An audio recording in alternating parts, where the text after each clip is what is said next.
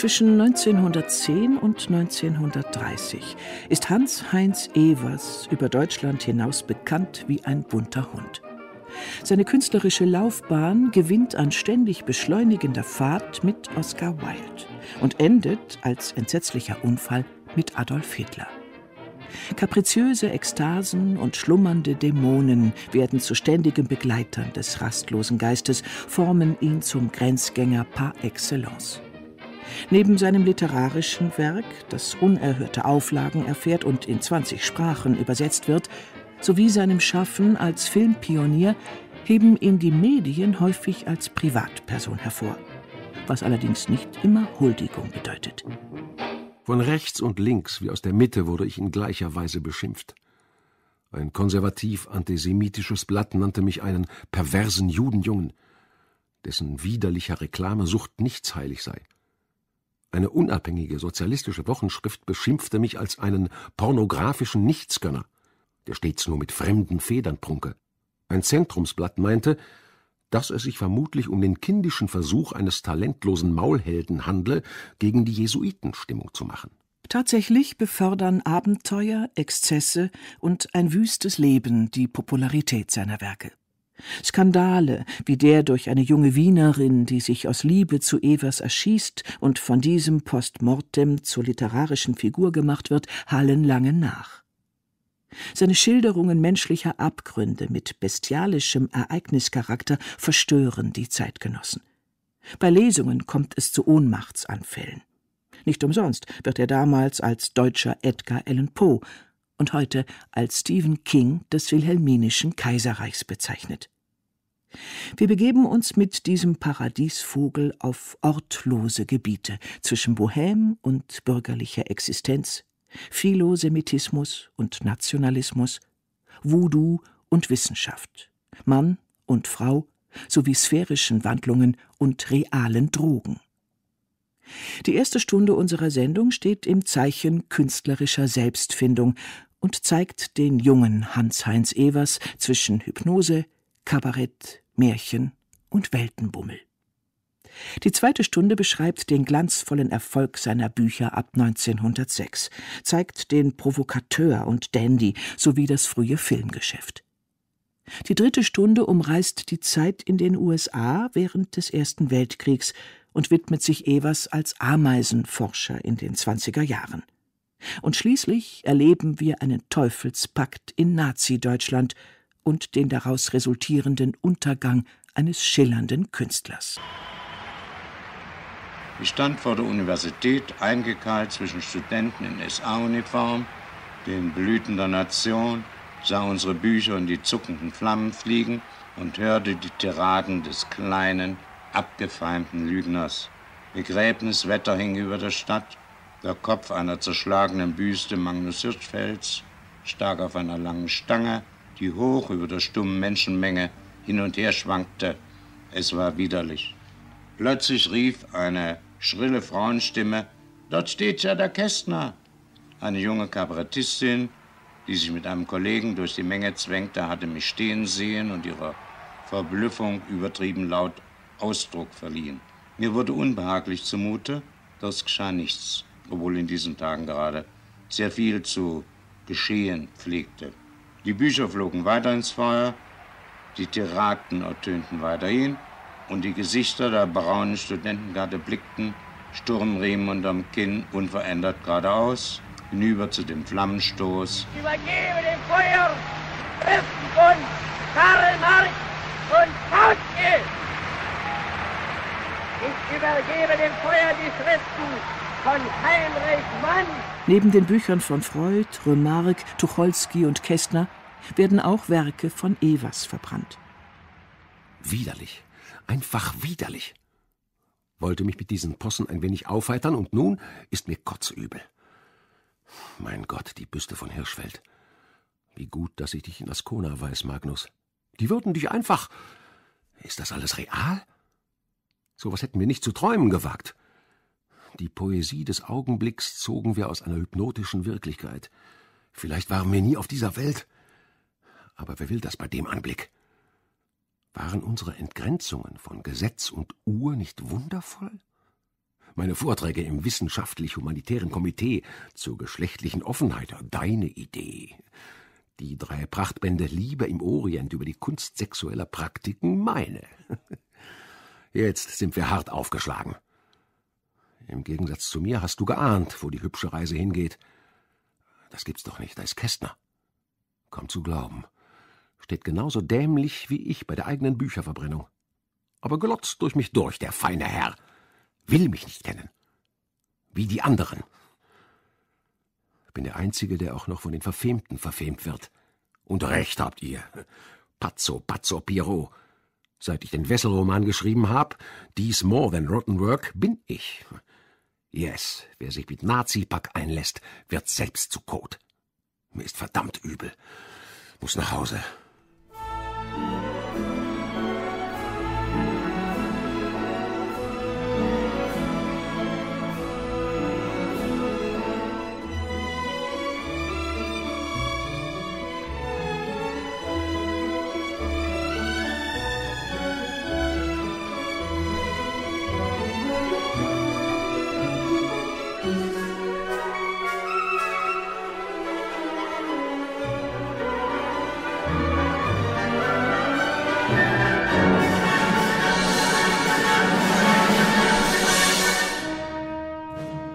Junge Hans Heinz, der 1871 in Düsseldorf geboren wird, versteht sich als Außenseiter und versteckt sich hinter der Maske des Pierrots.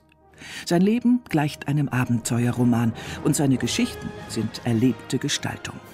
Der Versuch, Wirklichkeit und Fantasie dieser Schriften aufzuschlüsseln, endet in Maskeraden ad infinitum. Du lieber Gott, das konnte ich schließlich. Ich bin von Natur aus sehr schamhaft. Ich glaube, nie hat sich ein Junge mehr geniert bei all und jeder Gelegenheit, als ich es tat. Dann, um das zu bekämpfen, lernte ich schon sehr früh Masken zu tragen. Machte die wildesten, unglaublichsten Sachen, die gar nicht meiner Natur entsprachen. Nur um die Scham zu überwinden. Ein Beispiel. In Bonn hieß ich als Student der Pistolenhans. Und oft genug gingen andere Studenten aus dem Lokal, in dem ich saß, mit den Worten Hier riecht's nach Pulver. Ich galt als und war ein wilder Raufbold.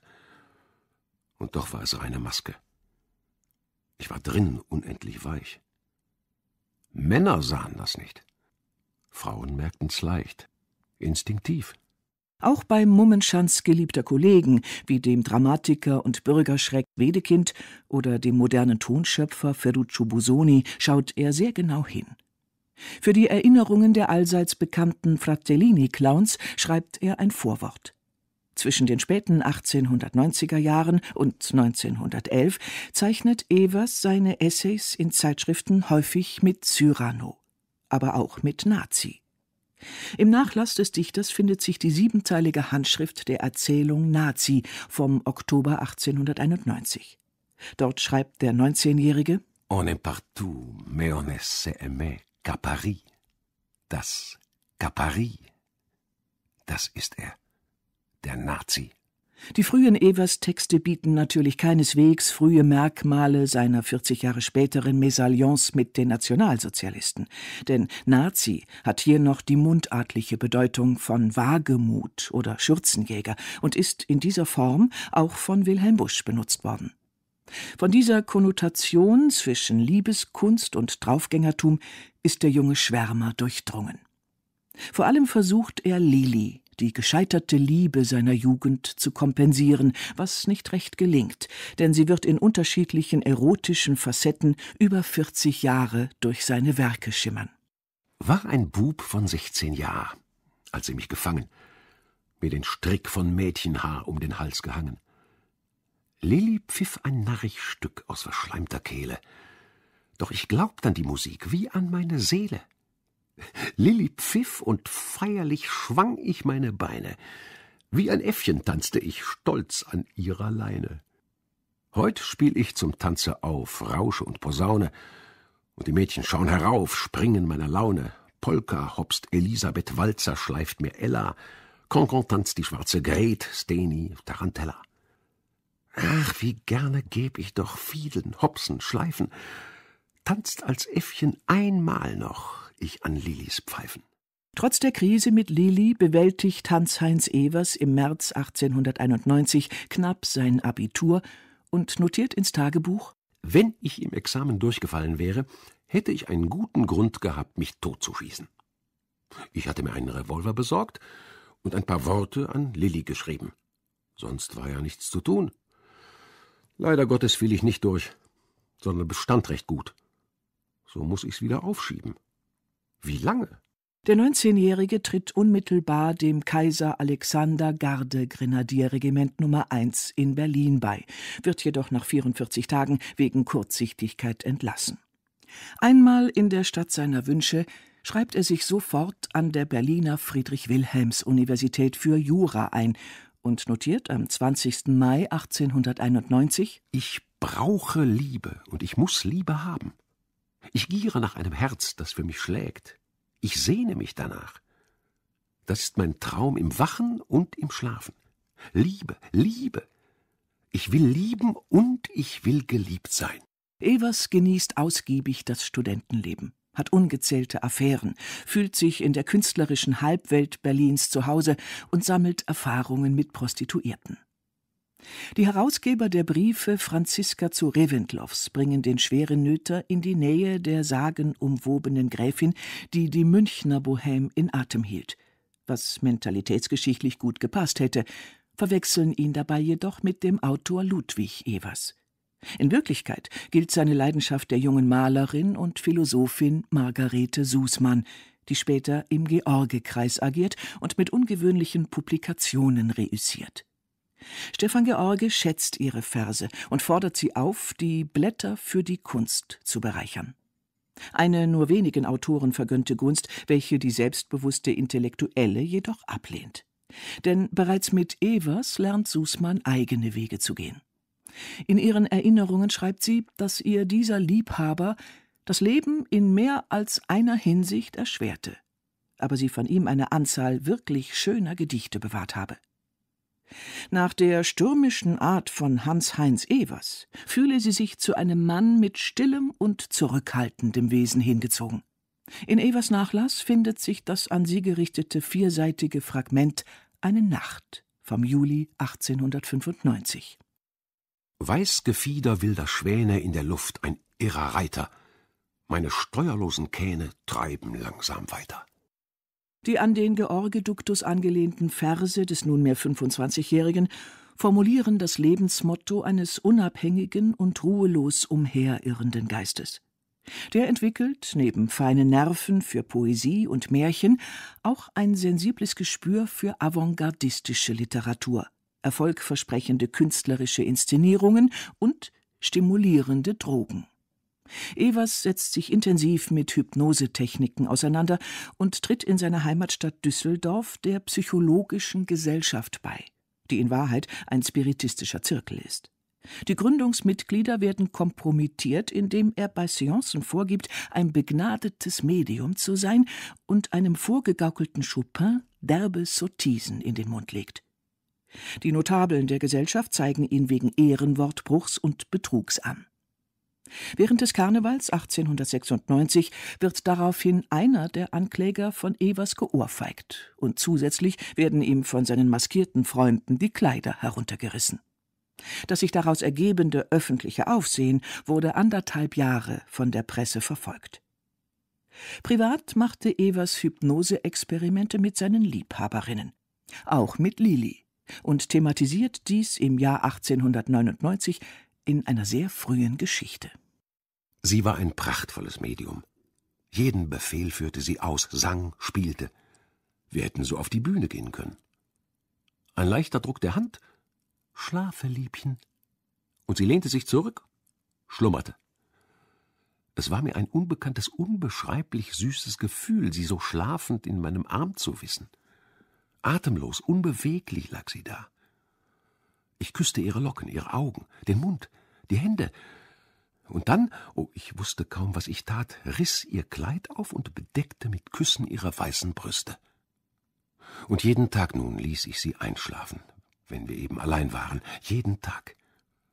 Am 24. Juni glühte die Sonne am Himmel, oh, sie glühte, und an dem Tag jagte und pulste mein Blut, wie es nie getan. Da geschah es. Ich zog sie aus, Röcke und Hemd, alles nahm ich ihr weg. Sie rührte sich nicht. Und dann nahm ich ihre süße Unschuld. Sie wehrte sich nicht, ihre Augen blieben geschlossen. Nur ein kleiner Schrei, wie ihn das Reh ausstieß, das meine Kugel einst traf im Kottenforste. Seitdem habe ich sie kaum mehr wachend gesehen. War ich bei ihr, schläferte ich sie ein. Und nun fing es an. Es kletterte mir die Brust hinauf, schnürte mir die Kehle zu. Es krampfte sich mit glühenden Fingern in meinem Hirn und ließ mir die Augen in den Höhlen brennen. Es quälte, marterte mich unglaublich. Mein Gott, mein Gott, ich versuchte mich zu beruhigen. Pah, du und Gewissen. Aber es ging nicht. Ich musste. Um sechs war ich in der Schlossstraße. Sie empfing mich mit heißen, glühenden Küssen. Kaum konnte ich mich losmachen aus ihren Umarmungen. Lass mich, ich muss dir etwas sagen, so sprich. Aber es ging nicht. Ich lief wie verrückt im Zimmer herum, konnte es nicht sagen, ich konnte es nicht. Die Hände zitterten, nahmen Bleistifte, Federhalter, brach alles in kleine Stücke. Sie trat zu mir. Mein lieber Junge. Die Tränen stürzten mir aus den Augen. Sie küsste sie von der Wange weg, einzeln, Träne für Träne. Als sie auch meinen Mund küssen wollte, stieß ich sie weg. Lass mich. Du weißt nicht, wen du küsst. Lass mich, ich will dir's sagen, alles. Und ich erzählte ihr, was ich getan, mit zusammengebissenen Lippen, die Augen auf dem Boden. Ich war fertig, aber wagte nicht, sie anzusehen. Schließlich hob ich den Blick und sah auf ihren Lippen ein Lächeln. So seltsam, so wunderlich, oh, ein, ein Lächeln. Teuflisch, kokottenhaft. Es sagte mir, dass sie alles gewusst und die Trance nur gespielt hatte.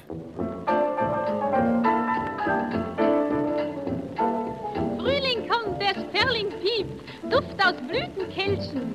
Bin in einen Mann verliebt und weiß nicht in welchen. Ob er Geld hat, ist mir gleich, denn mich macht die Liebe reich. Kinder, heute Abend, da such ich mir was aus.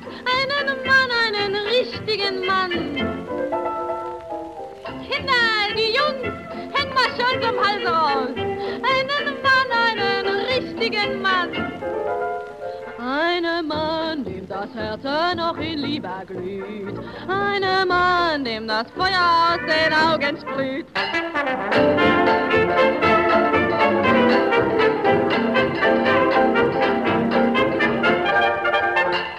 Die Studentenverbindungen stoßen ihn durch den dort waltenden Proletengeist ab und faszinieren zugleich durch die maskulinen Riten.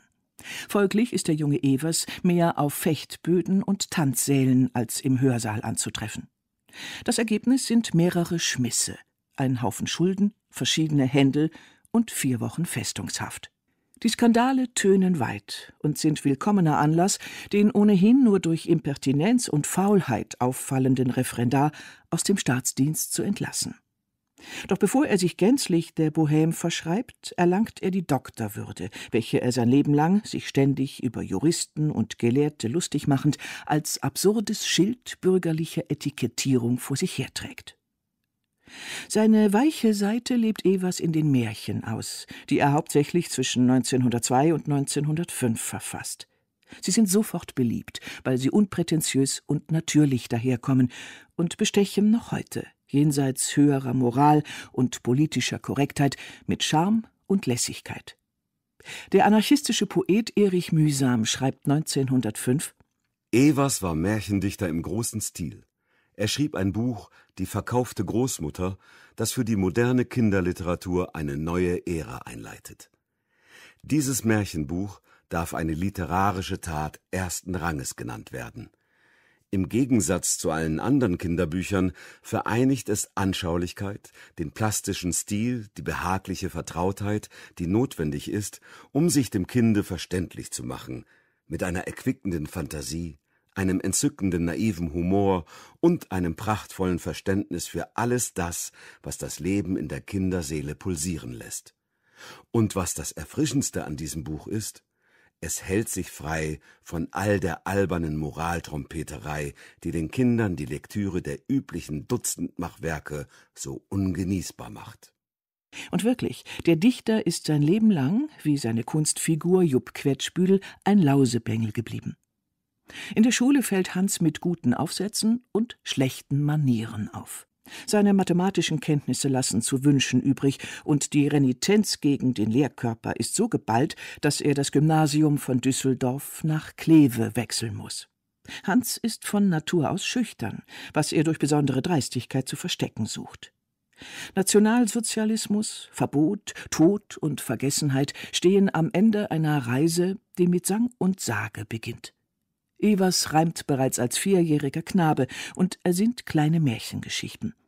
Das frühkindliche Talent wird von seiner Mutter, Maria Evers aus dem Wert, gefördert, die in jungen Jahren mit Gottfried Keller befreundet war und nun eine beliebte Märchenerzählerin ist. Wenn sie beim Fabulieren für ihre Kinder nicht mehr weiter weiß, übernimmt der kleine Hans das Zepter und erzählt aus seiner Sicht die Geschichte weiter. Sein populäres Kinderbuch Die verkaufte Großmutter und die beiden in diesem Märchen eingetauchten Knaben erinnern nicht zufällig an Mutter Maria, Hans und dessen jüngeren Bruder Ernst. Im Jahr 1922 setzt Evers seiner Mutter, die er ausgesprochen liebt und der er fast täglich schreibt, mit der Erzählung Meine Mutter die Hex ein Denkmal. Die Geschichte ist sowohl eine Liebeserklärung des Sohnes wie auch ein Weiterführen und Anknüpfen an künstlerisch-soziale Traditionen der Romantik. Das Erzählen, Dichten, Illustrieren, Darstellen, Übersetzen und Briefe schreiben im Everschen Familien- und Freudesverband ist vom romantischen Hexenglauben besetzt, mit poetischen Momenten die Realität verzaubern zu können. Johanna Nepomucena Hubertina ist übrigens in Evers populärstem Werk Alraune die Mutter des Protagonisten und die Titelfigur in der Geschichte Ginsterhexe. Die erste Gattin des Dichters, Ilna Wunderwald, findet sich im Märchen Ilna und der Quarkfrosch wieder und so fort. Neben Ilna und Mutter Maria werden auch Freunde in verschiedene Literaturproduktionen einbezogen. Der früh verstorbene Vater, August Heinrich Evers, hatte eine Ausbildung als Sänger in Paris und als Maler in Amsterdam gemacht und arbeitete danach als Hofmaler in Schwerin. Das Genre übergreifender Künste spielt bereits in früher Kindheit eine Rolle für den werdenden Dichter, dessen Interessen zusehends synästhetischen Charakter bekommen. So fließt auch das Genre der Malerei in seine Werke ein, die allgemein einen stark biografisch gefärbten Charakter tragen. Ausgenommen den letzten Roman könnte Evers gesamtes Opus mit weltenfernen, fantastischen, abenteuerlichen und psychedelischen Aspekten als Märchen für Erwachsene gelten. Auch wenn sie als Reisebücher, Stücke, Gedichte, Romane oder Erzählungen gekennzeichnet sind, haben sie sich eine verspielte Poesie erhalten, wie sie nur Kindern und Träumern zu eigen ist, ohne dabei infantil zu sein. Denn die fabelhafte Welt ist vollkommen lebensreal. Die differenzierten Wanderbeschreibungen der beiden Buben im Schatz in der Höhle gehen auf Capri-Erfahrungen zurück, wo Evers 1903 im gleichen Jahr, wie das Märchen erscheint, eine Grotte entdeckt. Er nennt sie Maravillosa, Wundergrotte, die daraufhin touristisch erschlossen wird. Am Ende der verbannten Fee wünscht sich ein kleines Mädchen, ich möchte einmal eine Ansichtskarte vom Feenland bekommen. Wie seiner Figur zum Gefallen wird Evers bald nach der Publikation dieser Geschichte zum Globetrotter aller Kontinente und verschickt mit Vorliebe Ansichtskarten aus unbekannten Fernen.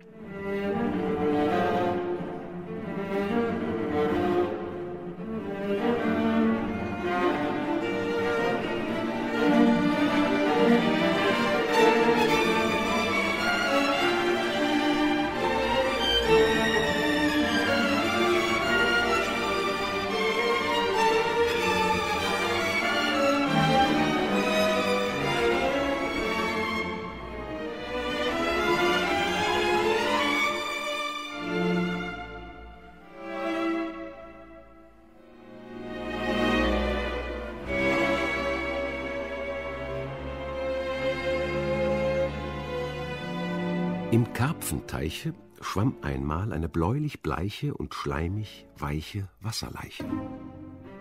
Ein Karpfenjüngling kam heran und fing wie folgt zu reden an. O menschenlos, gewiss in Flammen, die aus verschmähter Liebe stammen, verbrannten seinen armen Sinn und trieben ihn zum Wasser hin. Ein anderer Karpfen hört sein Klagen und hub verächtlich an zu sagen, ach wat, im Dusel hat er sich verloffen, fiel in den Teich und ist darin ersoffen. Jedoch ein alter, hundertjähriger Knabe erfreute sich der guten Gottesgabe. Er sprach kein Wort, er fraß und fraß, dass er die Welt darob vergaß.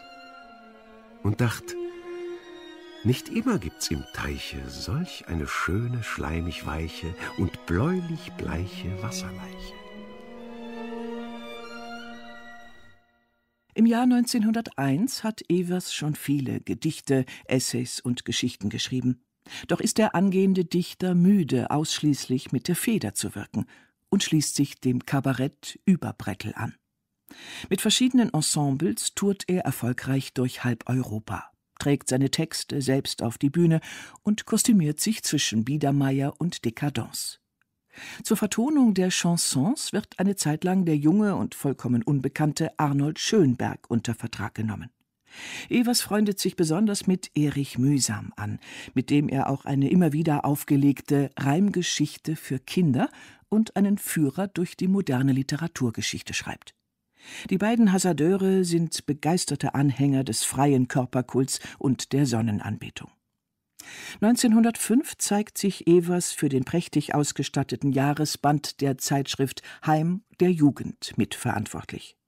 Hier trifft sich die impressionistische und reformbewegte Wortschmiede eines Max Dautendey, Richard Demel oder Friedrich Mühsam und wird von Jugendstilkünstlern wie Peter Behrens, Heinrich Vogeler und Ilna Wunderwald illustriert. Ästhetische Betrachtung und Nudismus fließen dieser Zeit in Evers Werk synonym ineinander. Da heißt es, dass menschliche Schönheit nur hüllenlos genossen werden könne. Rote Kirschen in der Schale von Kristall, Josefs Höhe im Pokale, heller Gläserschall. Und sie holt die Zigaretten vom Gesims, sie, die Liebste der Koketten, Donna Mims kleine weiße Waschbärzähne, kerngesund, blonder Locken Schüttelmähne, roter Kirschenmund. Und die grünen Nixenaugen kichern hell. Senior, soll das Leben taugen, leb es schnell. Rote Kirschen, in die Locken flecht ich ihr, während ihre Finger locken Schmeicheltöne vom Klavier. La Paloma, weiße Taube, weiß wie du. Rauschegold und Mädchenglaube klingt mir zu. Schuh und Strümpfe meiner Süßen zieh ich aus. Küsse brennen auf den Füßen meiner wilden Maus. Rote Kirschen wind ich leise um die Zehen. La Paloma, Nixenweise, Schiffer flehen. Rote Kirschen, Nixenaugen, Kuss um Kuss heißer Lippen, die sich saugen in den weißen Fuß. Rauschegold und Mädchenglaube klingt mir zu. La Paloma, weiße Taube, weiß wie du. Evers macht gründliche Erfahrungen mit dem Maulkorb der Zensur, wie er es nennt, und den dazugehörigen Klagen und Gerichtsprozessen. Im Frühjahr 1900 wurde sein Gedichtzyklus Goldene Käthi wegen der Verbreitung unzüchtiger Schriften unter Anklage gestellt. Und der Dichter ist durchaus nicht nur Erotiker des Wortes. Denn seiner Käthi, einer Katharina Kreis aus Leipzig, schenkt er mit den Liebesgedichten auch ein uneheliches Kind. Denn Evers setzt sich sehr wohl für die Rechte Homosexueller ein und wird selbstverständlich von der Presse, Zensur und Gerichten wegen viel stärkerer Vergehen der Feder angegriffen. Doch der junge Wilde zeigt sich ungerührt und greift seinerseits die Justiz an beispielsweise wegen der Verurteilung Oscar Wildes. Er berichtet, ihn auf Capri kennengelernt und das Treffen literarisch verarbeitet zu haben. Die entstandene Novelle C33 korrespondiert im Titel mit der Zellennummer des im Zuchthaus zu Reading berühmten Inhaftierten. Gemeinsam mit Wild-Übersetzungen von Hedwig Lachmann und Johannes Gaulke zeugt die Novelle von frühen Bemühungen, das deutsche Publikum für den irischen Dichter zu begeistern. Ferner gibt Evers dessen Märchen, Erzählungen und den Roman Das Bildnis des Dorian Gray heraus. Er schreibt in homosexuell konnotierten Zeitschriften und engagiert sich gegen den Paragraphen 175, der Männerliebe unter Strafe stellt. Im Jahr 1903 schreibt Evers das Drama Enterbt, das die Nöte gleichgeschlechtlich orientierter Intellektueller thematisiert. Meine Kommilitonen neckten mich und nannten mich einen Waschlappen, weil ich nie ein Liebesabenteuer hatte. Namentlich einer war da, der mich ärgerte und quälte bis aufs Blut. Er hatte meinen Zustand erkannt, ehe ich selbst eine Ahnung davon hatte. Eines Tages sagte er mir im Rausche auf den Kopf zu, dass ich auch so einer wäre. Ich war entsetzt und antwortete erregt. Eine Säbelmensur war die Folge. Aber ich begann selbst über mich nachzudenken und kam zu dem Schluss, dass dieser Mensch tief in meiner Seele gelesen hatte, dass er nur allzu recht hatte. Ich will nichts von den entsetzlichen Qualen erzählen, die ich damals durchlebte, nichts von den jammervollen, vergeblichen Versuchen, die ich machte, mich dem Weibe zu nähern. Es kam so weit, dass ich es nicht mehr wagte, in der Gesellschaft meiner Kameraden zu erscheinen, dass ich mich als Ausgeschlossener fühlte, der seine armselige Bude nicht mehr verließ. Ich kam mir vor wie ein Aussätziger, der aus seiner Hütte vor den Toren sehnsüchtig auf die Stadt hinblickt, wo die Glücklichen wohnen, die Gesunden. Später ist Evers auch im Wiener Kabarett Fledermaus mit Dichterpersönlichkeiten wie Egon Friedell, Peter Altenberg, Hermann Bahr, Richard Demel, Alexander Roda-Roda und Detlef von Lilienkron dabei. Oskar Kokoschka fertigt das Bühnenbild, während sich Gustav Klimt um die Kostüme kümmert. Klimt ist von Evers fasziniert und liefert ihm eine Illustration für den Novellenband Das Grauen. Später entwirft er eine auf die seelische Disposition des Dichters abgestimmte Schreibmappe. Die ist ein aus Silber getriebenes und mit Opalen besetztes Spiel von Disteln, Meerspinnen, nackten Frauen, Teufelsfratzen und dem Evers Monogramm HHE. Dieser behauptet, dass niemals ein König oder eine geheime Kommerzienrätin eine schönere ihr eigen genannt hätten, aber gebrauchen könne man sie nicht. Haben in Farben geträumt, durch Wochen und Jahre. Und wir haben Theater gespielt, haben uns angeschrien und angeschimpft, uns Verbrecher und Schufte und Muttermörder geheißen. In heiligem Ernst, nur in dem einen großen Interesse für alle bunte Kunst. Für ein kleines Liedchen warfen wir viele Tausende fort, machten für drei schöne Frauen hintereinander drei Dutzend Kostüme, bis endlich die Farben zusammenklangen. Fünf Monate arbeitete man Tag und Nacht an den drei Gewändern. Die trugen drei schöne Frauen ganze fünf Minuten lang auf der Bühne. Gar nichts begriff davon das Publikum.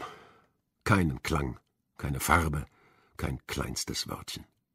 Aber hinten saß Ferruccio Busoni, ließ roten Burgunder in den Kristall fluten und weinte. Und wir waren sehr stolz. Der eine begriff diese reine Schönheit und dachten, dass wir alle ganz ausgezeichnet ausgegeben hätten, alle unsere unendliche Arbeit, unsere Kunst, unsere Nervenqual. An das Geld dachte keiner. Evers verachtet alles, was mit Geld zusammenhängt, und hegt eine Sehnsucht für mondänes Leben und Luxus des Gaumens. Er fühlt sich in anarchistischen und subkulturellen Kreisen um Robert Reitzel, Senna Heu und Erich Mühsam zu Hause, schreibt in deren Organen und ist getrieben von exotischem Fernweh. Will jedoch partout kein Clochard sein und keinesfalls wie der obdachlose und kranke Dichterkollege Peter Hille enden. Doch ist er mit Alkohol und Spielsucht auf dem besten Wege dahin. Die Heirat mit der Malerin Ilna Wunderwald im Jahr 1901 ist immerhin eine bürgerliche Konzession, was die finanzielle Misere nicht bessert. Was ist die Ehe? Der höchste Irrsinn, den die Kultur hervorgebracht, das raffinierteste Mittel, um die Kräfte zu unterbinden und die Entwicklung zu hemmen.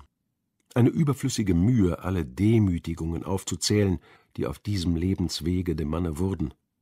Erst durch die Ehe konnte die ganze soziale Frage aufgerollt und der Besitzwahnsinn, in dem alle Frechheit und Zügellosigkeit wurzeln, geboren werden. Die Bösartigkeit der besitzanzeigenden Pronomina erfährt ihre grellste Beleuchtung in der Formel mein Mann.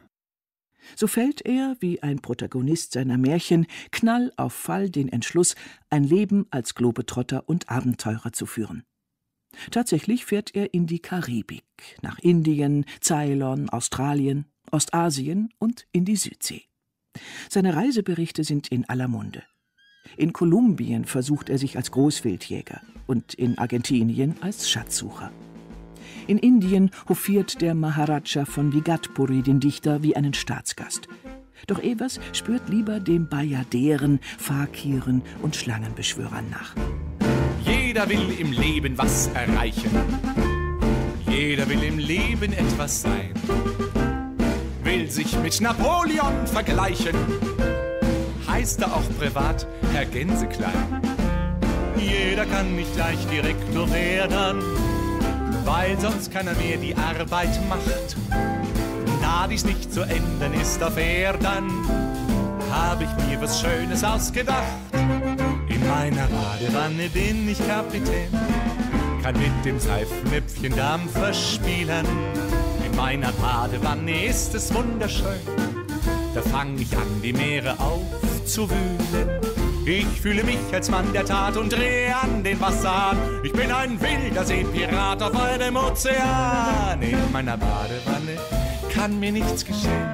Und wenn die großen Wellen mich umspülen, dann können sie mich einmal alle glücklich sehen.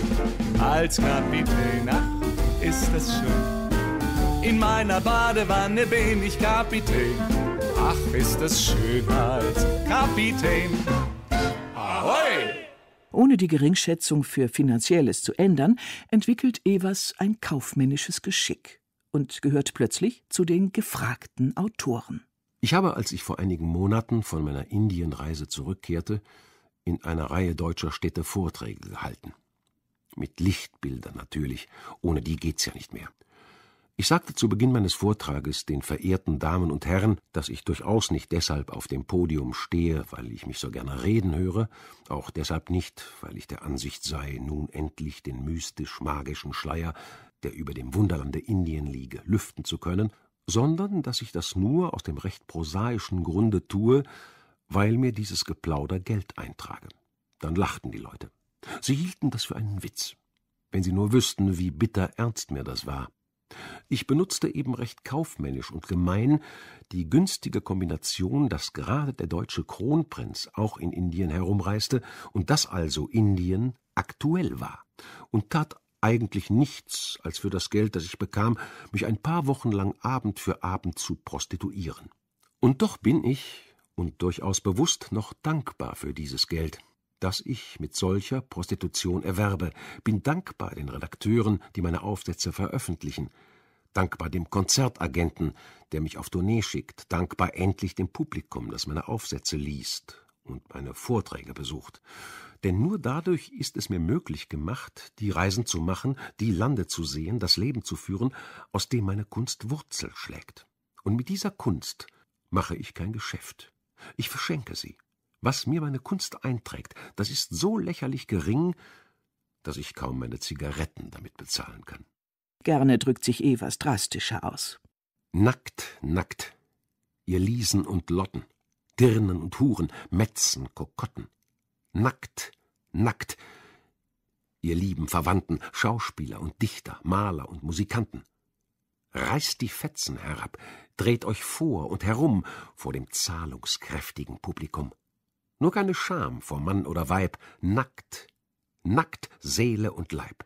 Der da, die da, der Gönner und Zahler wirft auf den Teller den Silbertaler, kauft euch wie Käse, wie Pflaumen und Birnen, Dichter und Dirnen.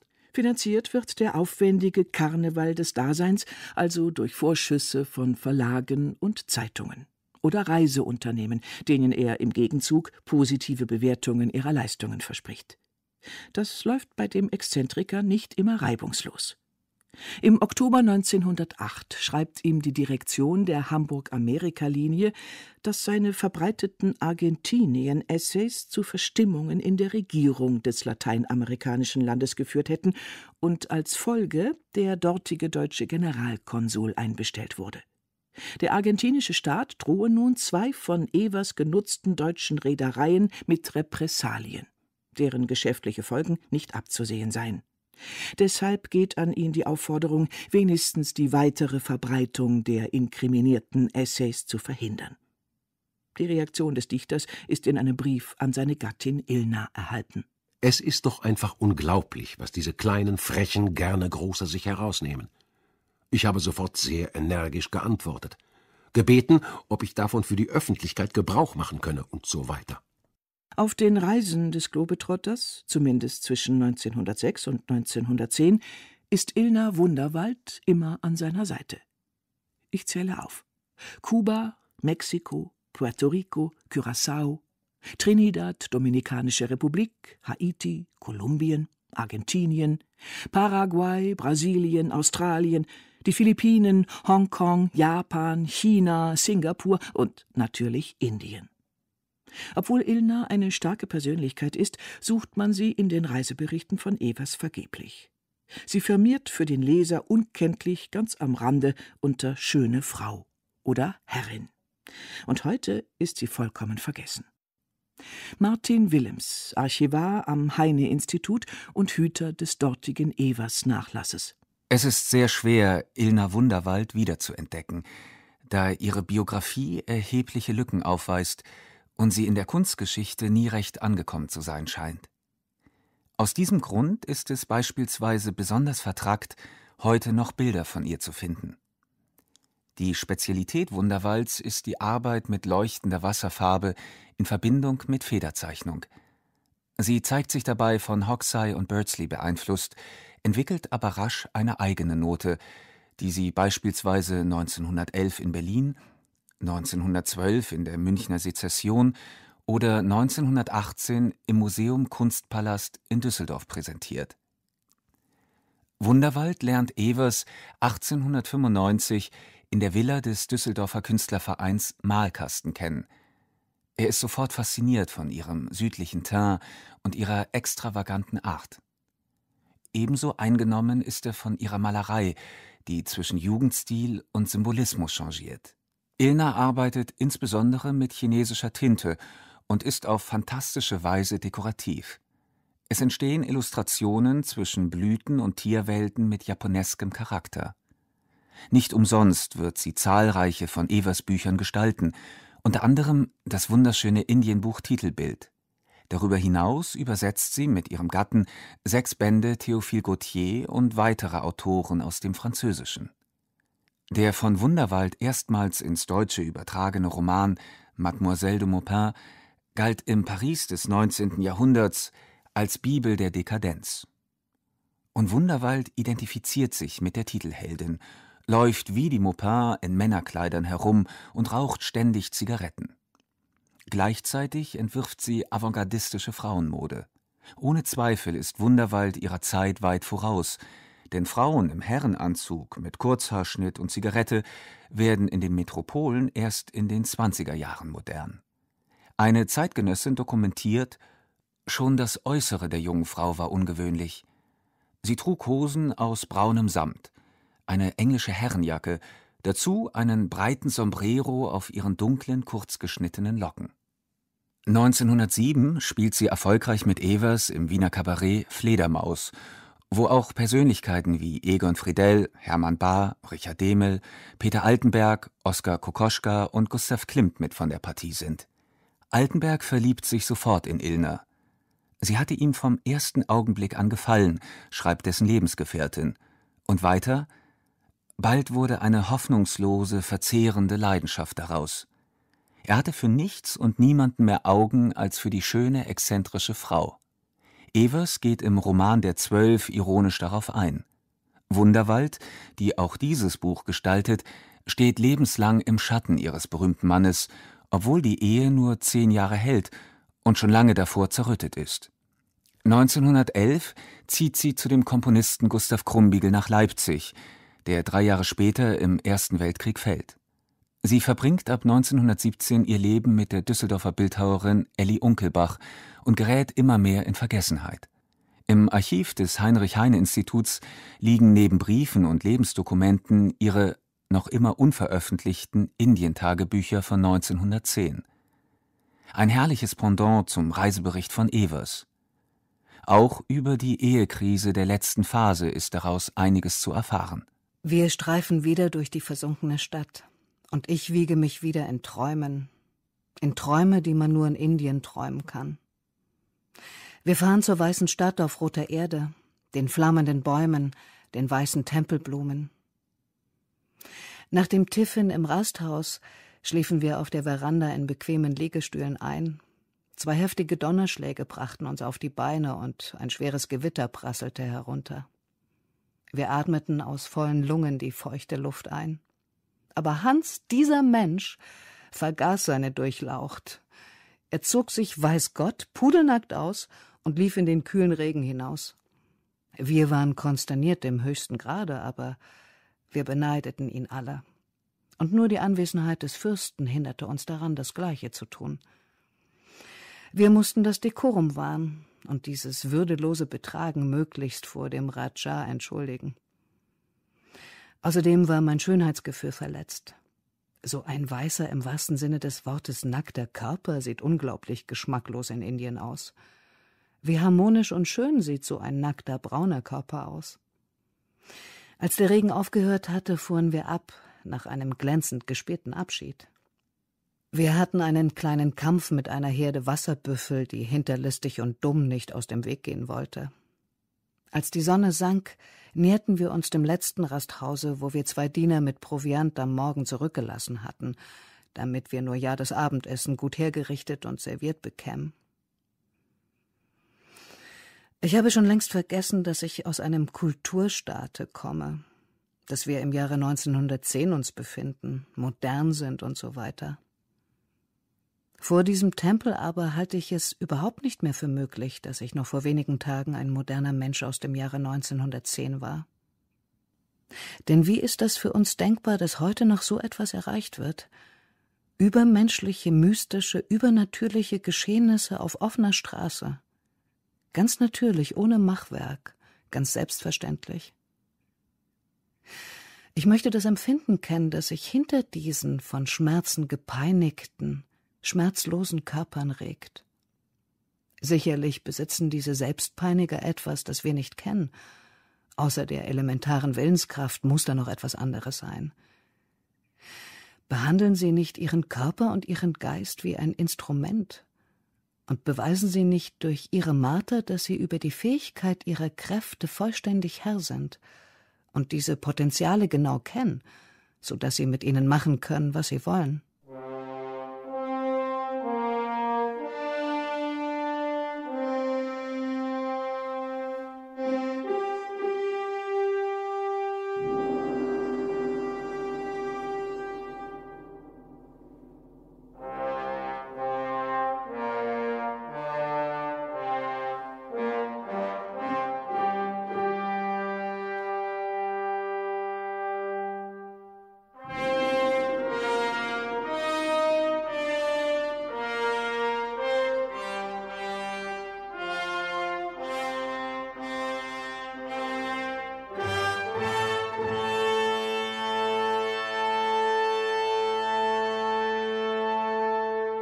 Es gibt Leute, die reisen, um sich zu erholen. Andere reisen, um Geschäfte zu machen. Andere, weil es eine Mode ist. Ich reise, weil ich muss. Weil es mich forttreibt, wo ich auch bin. Weil ich überall fremd bin und doch zu Hause. Überall. Ich muss reisen, wie ich essen und trinken muss. Draußen nämlich bin ich immer mit dem Gelde, das ich zu Hause so jämmerlich sauer zusammenscharre. Draußen bin ich ein Sahib. Gehe meinen Weg, meinen ureigenen Weg, bin mein eigener Herr und lebe mein Leben.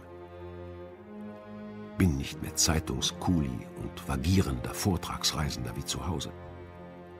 Ich werde mir freilich den Luxus nie gestatten können, ein Eigenheim zu haben und eine Familie zu gründen. Aber ich darf mir dafür erlauben, Träume zu träumen, die kein anderer vor mir je zu träumen wagte.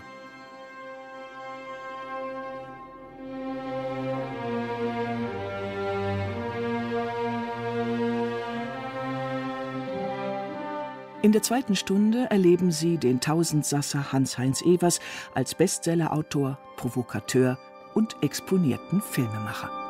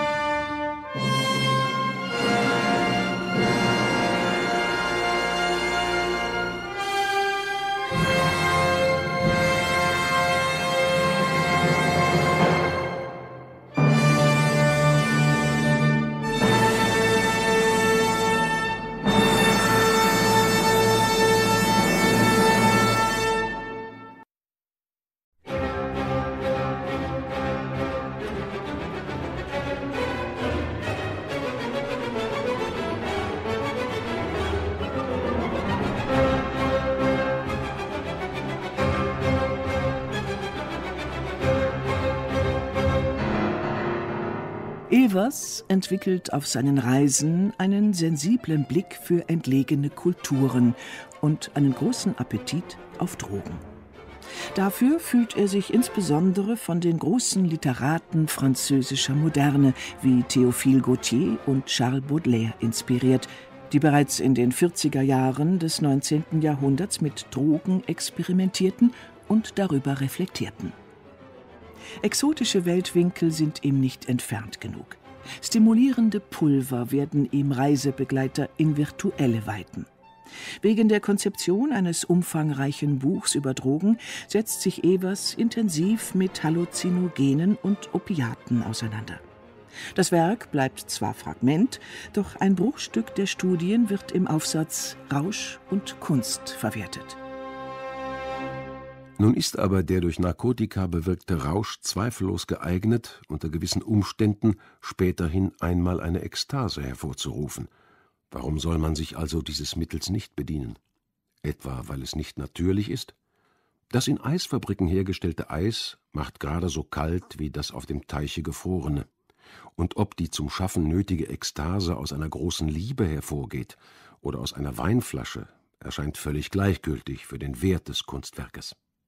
Im Grunde ist ja auch nicht der Unterschied natürlich und künstlich, sondern das, bewusst und unbewusst. Der Dichter stellt die Behauptung auf, durch Narkotika hervorgerufene Rauschzustände seien für künstlerische Prozesse eminent wichtig, bemerkt aber früh, dass mit den kapriziösen Ekstasen auch schlummernde Dämonen geweckt werden. Entziehungskuren nur begrenzt wirken und scheinbare Heilungen von einem süßen Gift nur die Vorliebe für ein anderes wachsen lassen. Evers weiß, wovon er schreibt, wenn seine Figuren somnambul zwischen Realitätsverlust, Ich-Spaltung und Traumverlorenheit hin und her gleiten. Sein breites Övre ist von einem psychedelischen Grundton getragen, der eine Bewusstseinserweiterung bis ins Fantastische zum Klingen bringt. In der Novelle Die blauen Indianer transzendiert die halluzinogene Wirkung eines Meskalinrausches in unbekannte Zustände der Vorahnen. Auch der als verwilderter Roman in Fetzen und Farben markierte Vampir, das Drama Mädchen von Charlotte und die Erzählung Fastnacht des persischen Märtyrers sind bei aller historischen Verbindlichkeit Drogenliteratur. Doch das ist ein Aspekt am Rande. Die breite Leserschaft nimmt Evers als Märchenerzähler, Abenteurer, Reiseschriftsteller und Künstler düsterer Verborgenheit wahr. Der Bohemien und Dichter satanischer Welten Stanisław Przybyszewski äußert sich folgendermaßen. Viel Mut gehört dazu, um in diese Sphären einzudringen, denn der Zugang zu ihr ist durch das bürgerliche und kirchliche Gesetz streng verboten, und jedem dieser waghalsigen, tollkühnen Forscher droht der schwerste Bann. Poète maudit waren Baudelaire und Verlaine und Rimbaud. In der Hölle der Giftkammern moderten die Werke eines Barbie d'Aurevilly oder eines Villiers de Isle Adam. Mit dem schwersten Fluch wurde sogar Madame Bovary belastet. Ganze Bände müsste man anfüllen, wollte man nur die wichtigsten Werke, in denen ihre Schöpfer auf die Suche nach der menschlichen Seele ausgegangen sind, anführen, die vom Bannstrahl des gesetzlichen Interdikts getroffen wurden. Und dasselbe Schicksal trifft das Werk eines der mutigsten unter den deutschen Künstlern, Hans Heinz Evers. Kave Kanem. Und dieser Evers ist ein verteufelt bissiger Hund, der sich gern an den Ordentlichen vergreift. Er ist aber für den, der sich willig seiner Obhut übergibt, ein großer Künstler. Mehr und mehr werden dessen Schilderungen menschlicher Abgründe mit bestialischem Ereignischarakter populär. Im Dezember 1905 schreibt er an seine Gattin Ilna über eine von dem Herold der Berliner Moderne Herwart Walden organisierte Lesung. Am Donnerstag las ich im Verein für die Kunst. Das ist das Beste in literarischer Beziehung. Alle 14 Tage hatten Demel, Wedekind, Scheerbart, Lilienkron, Harden, Hoffmannsthal und so weiter gelesen. Ich hatte großes Pech. Ich hatte nämlich eine falsche Mappe mitgenommen und so die besten Sachen, Gedichte etc. nicht da. Zum Glück hatte ich Weißes Mädchen und Tomatensoße da. Letztere schlug kolossal ein. Ein Jüngling wurde ohnmächtig und musste herausgetragen werden. Eine Reihe von Damen wurde auch ganz mies. Die Kritiken sind alle sehr gut, nur das Berliner Tageblatt, von dem irgendein Esel drin war, hat geschimpft. Evers hält sich in seinem Brief an Ilna über die Lesung eher zurück, denn die Vossische Zeitung ist auf das Moment der Ohnmacht und die angstverzerrten Gesichter junger Zuhörerinnen ausführlicher eingegangen.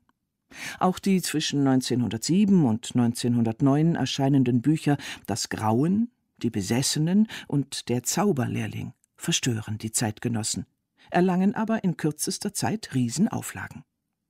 Der Dichter kokettiert mit satanischer Autorität und der Kennerschaft des Abgründigen, spielt mit der voyeuristischen Erwartung des Lesers. Doch die schockierenden Darstellungen von Bluttaten, wüster Ekstase und pathologischen Sehnsüchten sind kein effekthaschender Selbstzweck, sondern zeichnen suggestiv gesellschaftliche Ängste und Identitätskrisen kurz vor dem Ersten Weltkrieg. Auch stilistisch ist Evers mit seiner narrativen Spracheleganz der frühen Moderne zuzurechnen. Die subtil psychologisch ausbalancierten Figuren verraten eine ausgeprägte Beschäftigung mit der gerade bekannt werdenden Psychoanalyse. In der von Sigmund Freud herausgegebenen Zeitschrift Imago wird in der Rezension des Alraune-Romans auf die fantasievolle Anwendung der Lehren Freuds verwiesen. Dass Evers nicht, wie oft behauptet, widerlichen Obsessionen frönt, sondern bis ins Groteske provoziert, um bürgerlichen Kleingeist zu desavouieren, zieht sich bis ins Private. Sein jüngerer Bruder Ernst war zum Fregattenkapitän in der kaiserlichen Marine aufgestiegen. Nach Quellen aus dem Nachlass lässt sich folgende Begebenheit rekonstruieren. Zu Ernst Evers Hochzeit sind entsprechend viele Offiziere in Uniform eingeladen. Auch Hans Heinz erscheint in einer auf Haiti erstandenen bunten Fantasieuniform. Darin will er sich von den Gästen als Exzellenz, kommandierender General der karibischen Insel, Dudsbruder des in Chicago exekutierten Frauenmörders John Holesby und Blutsbruder des Chaco-Indianerhäuptlings Matepe vom Stamm Maka lobpreisen lassen, was der Hochzeitsgesellschaft arg missfällt.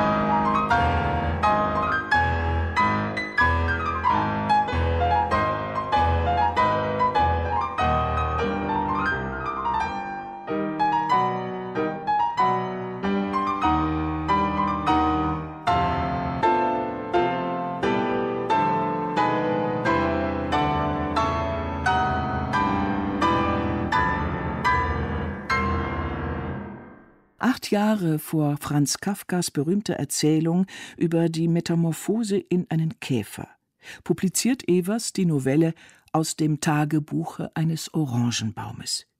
Sie dokumentiert eine Verwandlung aus der zweckorientierten Gesellschaft in eine poetische Welt.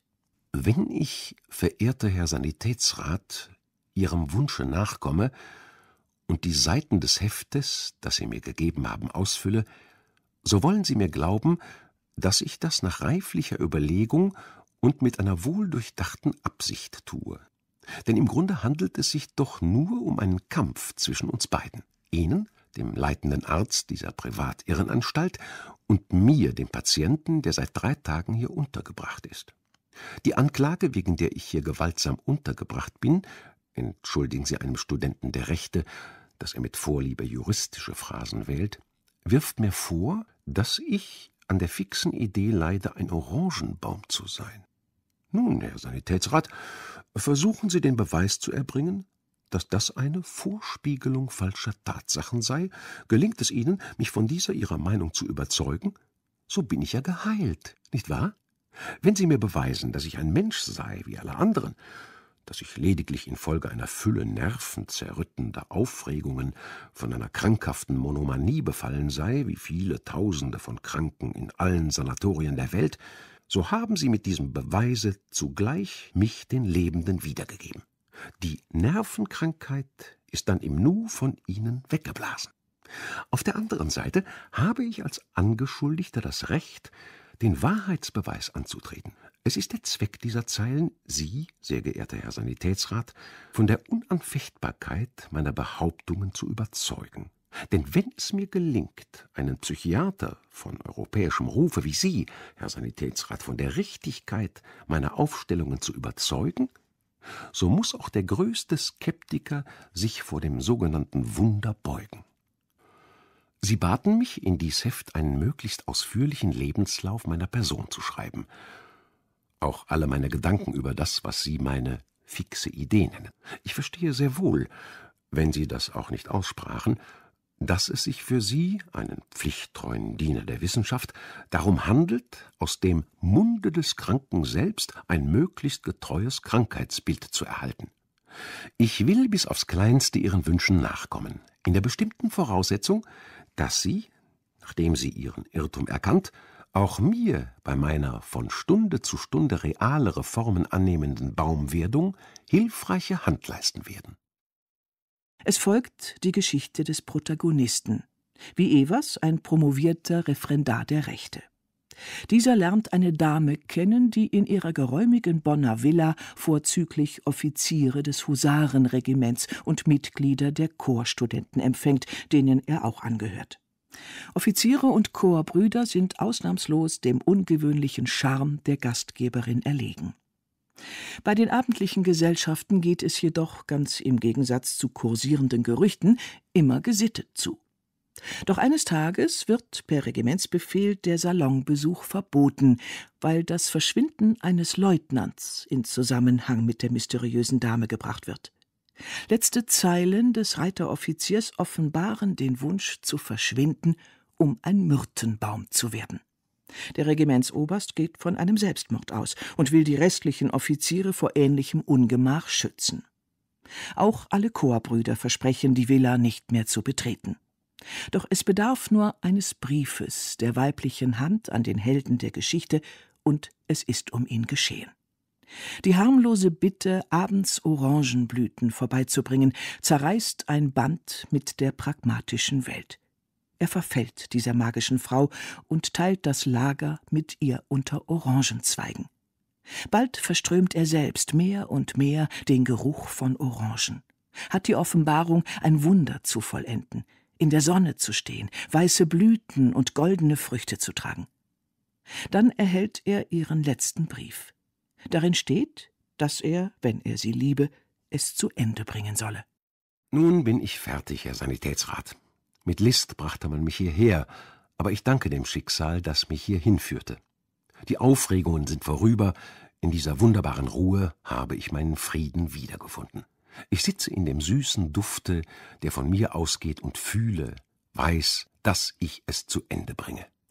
Schon wird mir das Schreiben schwer, Herr Sanitätsrat. Die Finger wollen nicht mehr zusammenhalten.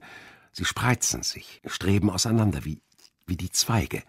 Ihre Anstalt liegt in einem herrlich weiten Parke. Ich bin heute Morgen darin gewandelt. Er ist groß und schön. Ich weiß, Herr Sanitätsrat, meine Worte haben Sie überzeugt. Oh, Sie haben es getan. Wenn also die Stunde kommt, die so nahe ist, so wollen Sie nicht versuchen, die Erfüllung zu hemmen. Dort hinter der großen Wiese werde ich stehen, wo die Kaskaden plätschern. Ich weiß, Sie werden mich pflegen lassen, Herr Sanitätsrat.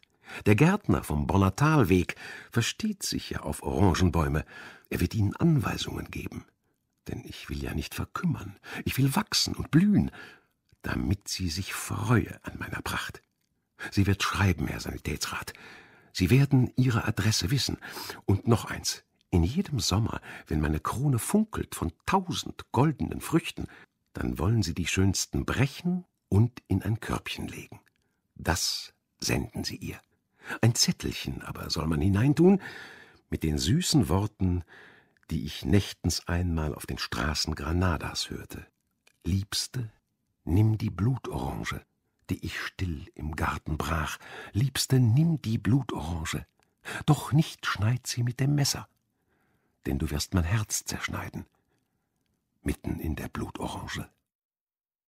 Die 1907 erschienene Novelle aus dem Tagebuche eines Orangenbaumes nimmt mit seiner metaphorischen Flucht aus einer rationalen Welt Kafkas Thematik der Verwandlung vorweg. Aber auch die poetisch zurückgenommene Sprache im erzählerischen Everswerk, ihr fast sachlich nüchterner Ausdruck gegenüber dem Unerhörten, erinnert an den späteren Kafka. Motive wie Prozess, Urteil oder Weltensicht aus der Perspektive eines gehetzten Tieres finden sich ebenso bereits bei Evers. Besonders prägnant erscheint die stilistische Übereinstimmung in Kafkas Strafkolonie, wo eine unbeteiligt und neutral erscheinende Hauptfigur in horrorartige Geschehnisse involviert wird.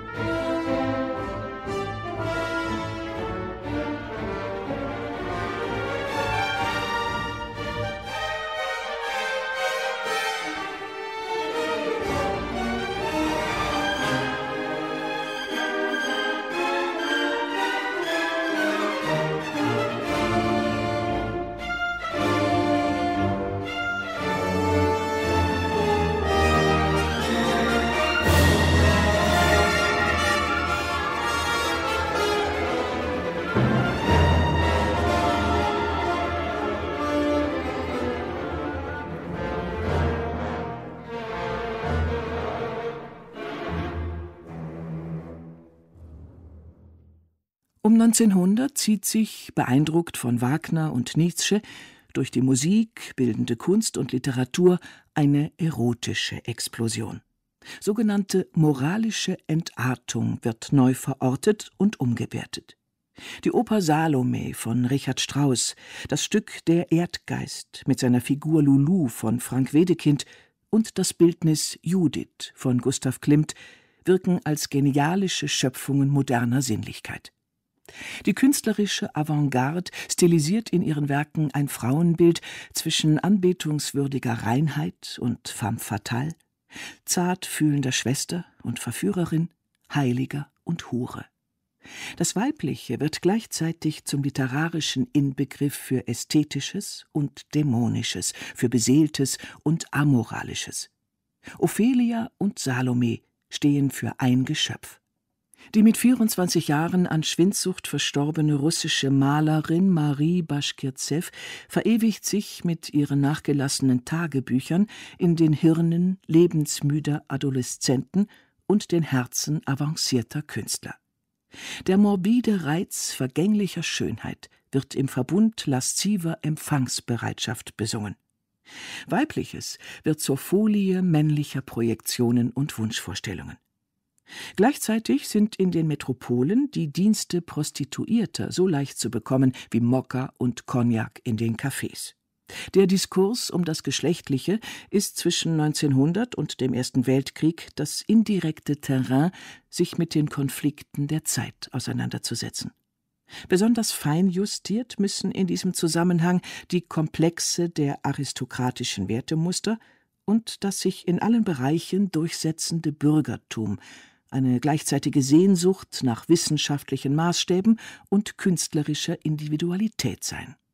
Die viel diskutierte Sexualwissenschaft und der Hang zu sinnlicher Verklärung, das Bedürfnis nach geistiger und erotischer Emanzipation in der Nachbarschaft von geschlechtlicher Herabwürdigung, zeigt ein neurasthenisches Bild der Moderne. Da erscheint im November 1911 wie ein Paukenschlag der Roman Alraune. Es ist die Geschichte androgyner Schönheit im mythischen Kontext eines Nachtschattengewächses, das unter dem Galgen gedeiht. Die Truggestalt Alraune der Vamp als dämonische Verführerin ist das Produkt einer künstlichen Befruchtung. Das Buch verkauft sich in den ersten acht Jahren 200.000 Mal, wird in 20 Sprachen übersetzt und schließlich fünfmal verfilmt. Das Enfant terrible Hans-Heinz Evers landet einen Welterfolg. Bevor es soweit ist, schreibt der Rebell am 18. November 1911 einen Brief an Maximilian Harden. Dieser wohl einflussreichste Publizist des wilhelminischen Deutschlands und Herausgeber der Wochenzeitschrift Die Zukunft, intimer Kaiserfeind und Entdecker literarischer Moderne, für den Max Reinhardt Premieren verschob, der mit der Feder vermochte, Fürsten zu stürzen, war der einzige, vor dem sich Evers verneigte. Eine Kritik aus dessen Feder, egal ob positiv oder negativ, war das förderlichste für ein literarisches Werk. Hochverehrter Herr Harden, ich sandte Ihnen mein neues Buch Alraune. Zwei Jahre arbeitete ich daran. Ich möchte so gerne, dass Sie es lesen. Ich würde mich so sehr freuen, wenn Sie mir wieder einmal die Gelegenheit geben würden, Sie zu sprechen. Nicht um Sie zu sehen, denn ich sehe Sie stets in Ihren Vorträgen. Mit dem Ausdrucke tiefer Verehrung und ergebenster Gewogenheit Ihr treu ergebener Hans-Heinz Evers. Aber Maximilian Harden hat Alraune, um die sich wenig später alle Welt reist, vermutlich nicht gelesen, geschweige denn rezensiert. Schmeicheleien scheinen sich in Evers Leben nicht auszuzahlen. Es ist die feine Balance zwischen Normalität und Abgrund, Wissenschaft und Fantastik, Psychologie und Erotik, welche die Leser erregt. Zusätzlich gibt der morbide Alraunestoff Anlass zu wilden Spekulationen, die durch eine sich verselbstständigende Kette merkwürdiger Umstände und tragischer Zufälle forciert werden. Die Ausgabe der ungarischen Übersetzung wird von den Budapester Behörden sofort konfisziert und der Herausgeber verklagt. In Polen entbrennt um das Buch vor allem mit der klerikalen Partei eine regelrechte Presseschlacht, die sich ein Jahr lang hinzieht was die Verkaufszahlen unerhört ansteigen lässt. Schließlich meldet sich in dieser Sache fast die gesamte polnisch-literarische Welt zu Wort, am engagiertesten der dunkle Literat Stanisław Przybyszewski. Sein Vorwort für die Alraune erhitzt die Gemüter noch darüber hinaus. Der Evers-Prozess ist schließlich der Auslöser einer längst angestandenen Debatte über die Freiheit der Literatur und Kunst. Privat muss Evers einen Familieneklat ausstehen. Denn eine Hauptfigur im Roman ist der sich ethischen Prinzipien widersetzende Geheimrat Ten Brinken. Dieser gleichzeitig widerwärtige und genialische Wissenschaftler, der ein menschliches Wesen mit künstlicher Befruchtung erschafft, hat offenbar die äußeren Merkmale seines Großonkels. Und seine Gattin Ilna Wunderwald hat zwar das Buch noch gestaltet, ist jedoch mittlerweile zu ihrem Liebhaber nach Leipzig durchgebrannt. Die Scheidung steht an. Wie willst du leugnen, liebe Freundin, dass es Wesen gibt, seltsame Wesen, die aus der verruchten Lust absurder Gedanken entsprangen? Seine Exzellenz, den Brinken, Dr. Med, ordentlicher Professor und wirklicher Geheimer Rat, schuf das seltsame Mädchen, schuf es ganz allein. Und dieses Wesen, das sie taufen ließen und Alraune nannten, wuchs heran und lebte wie ein Menschenkind. Was es anfasste, ward zu Gold. Wo es hinblickte, da lachten die wilden Sinne. Wohin aber sein giftiger Atem traf, schrie alle Sünde. Und aus dem Boden, den seine leichten Füße traten, wuchsen des Todes bleiche Blumen. Nicht für dich, blondes Schwesterchen, schrieb ich dies Buch. Deine Augen sind blau und sind gut und wissen nichts von den Sünden. Deine Tage sind wie die schweren Trauben blauer Glyzinen, tropfen hinab zum weichen Teppich. So schreitet mein leichter Fuß weich dahin durch die sonnenglitzernden Laubengänge deiner sanften Tage. Nicht für dich schrieb ich dies Buch, mein blondes Kind, holdes Schwesterlein meiner traumstillen Tage. Dir aber schrieb ich es, du wilde, sündige Schwester meiner heißen Nächte. Wenn die Schatten fallen, wenn das grausame Meer die schöne Goldsonne frisst, da zuckt über die Wogen ein rascher, giftgrüner Strahl. Das ist das erste schnelle Lachen der Sünde über des bangen Tages Todesfurcht. Und sie reckt sich über die stillen Wasser, hebt sich hoch, brüstet sich in brandigen gelben und roten, tiefvioletten Farben. Und die Sünde atmet durch die tiefe Nacht, speit ihren Pesthauch weit hinaus, über alle Lande. Und du fühlst wohl ihren heißen Hauch. Da weitet sich dein Auge, hebt sich frecher die junge Brust, da fliegt ein Zittern über deine Nüstern, spreizen sich weit die fieberfeuchten Hände. Da fallen die bürgerlichen Schleier aller sanften Tage. Da gebiert sich die Schlange aus schwarzer Nacht. Da reckt sich, Schwester, deine wilde Seele, aller Schanden froh, voll aller Gifte. Nimm, Schwester, dies Buch, nimm es von einem wilden Abenteurer, der ein hochmütiger Narr war und ein stiller Träumer zugleich. Von einem, Schwesterlein, der neben dem Leben herlief. Die das Buch umrahmenden Worte an die schöne Freundin und sündige Schwester sind, wie sich denken lässt, nicht an die Gattin Ilna Wunderwald adressiert. Die dunkelromantische Umkleidung im Auftakt und Ausklang des Alraune-Romans spielt auf eine junge Frau an, die Evers in Wien kennenlernt. Als im März 1911 der Dichter in der Donaumetropole einen Indienvortrag hält, findet er zu seinem Erstaunen das Podium mit einem Orangenbaum geschmückt und mit Apfelsinenblüten und Früchten übersät. Das hatte eine philosophisch und musikalisch gebildete junge Frau in Anlehnung an seine berühmte Erzählung arrangiert.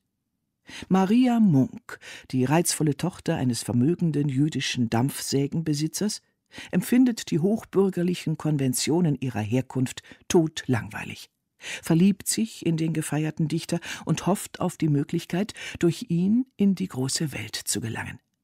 Sie reist ihm mit ihrer Mutter bis nach Miramar bei Triest hinterher, wo er einen großen Teil der Alraune schrieb. Die Rechnung scheint aufzugehen, denn bereits im Sommer des Jahres wird auf der istrischen Insel Brioni Verlobung gefeiert.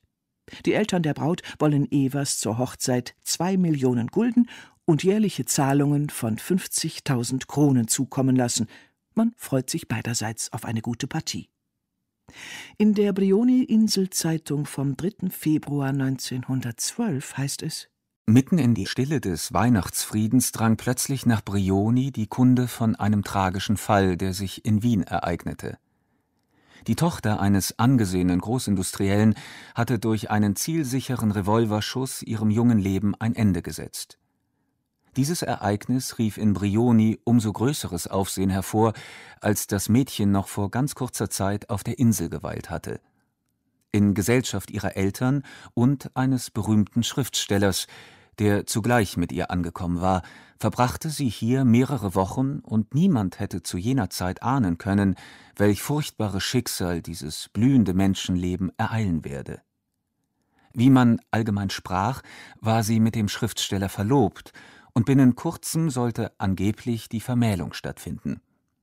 Täglich konnte man beobachten, wie beide in angelegentlichstem Gespräch vertieft über die sonnigen Frühherbstgefilde Brionis dahinwandelten, sie das hübsche, geistreiche, dem Anscheine nach etwas schwärmerisch veranlagte Mädchen und er, der weitgereiste Mann mit dem berühmten Namen, ein wenig exzentrisch in seinem Gehabe, im Ganzen jedoch eine Erscheinung von dämonischem Reiz.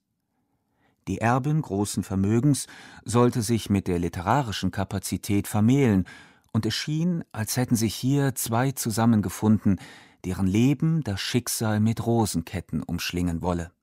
Maria Munks Suizid spricht sich in der hohen Gesellschaft und literarischen Bohème herum wie ein Lauffeuer. Evers hatte der gerade 24-Jährigen leichtfertig die Ehe versprochen und will, offenbar um Zeit für seine unentschiedenen Gefühle zu gewinnen, mit Max Reinhardt für einige Monate nach Amerika gehen.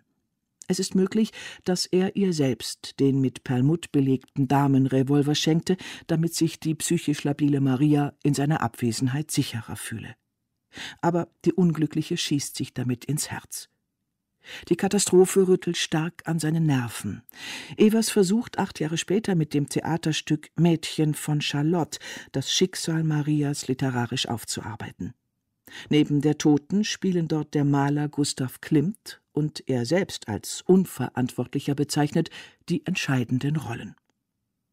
Nicht nur im Stück Mädchen von Charlotte, sondern ganz tatsächlich wird Maria auf dem Totenbett von Klimt porträtiert, denn er ist mit den Eltern der jungen Frau seit langem bekannt. Auf diesem Bild ist Maria, wie von Evers literarisch skizziert, auf Rosen gebettet. Die dem Unverantwortlichen als Geist erscheinende Tote beschreibt sich selbst im Stück als Rosenknospe. Die Knospen sangen, alle sangen sie und reckten singend, jubelnd sich empor dem Sonnenstrahl entgegen. Und Tag und Tag sprang eine auf und wieder eine und ward zur vollen Rose. Später als alle anderen Rosen im Garten blühte der Busch dort an der Mauer, aber schöner, viel, viel reicher waren seine roten Rosen.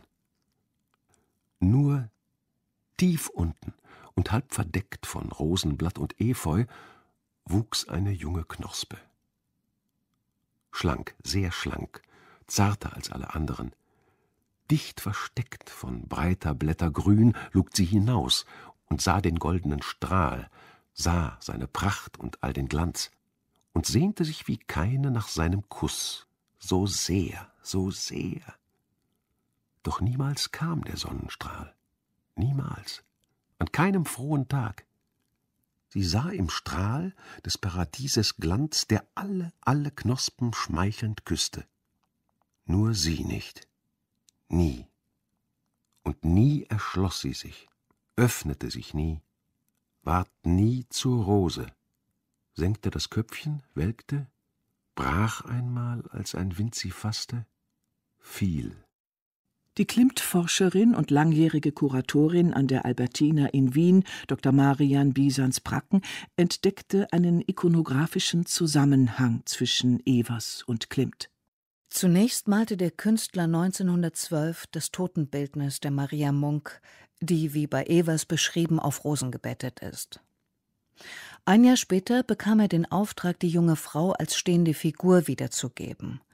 Weil dieses Ergebnis den Eltern missfiel, behielt Klimt das Bild und arbeitete es, wie ihr Cousin Erich Lederer im späteren Alter berichtet, zur leicht entblößten Tänzerin um.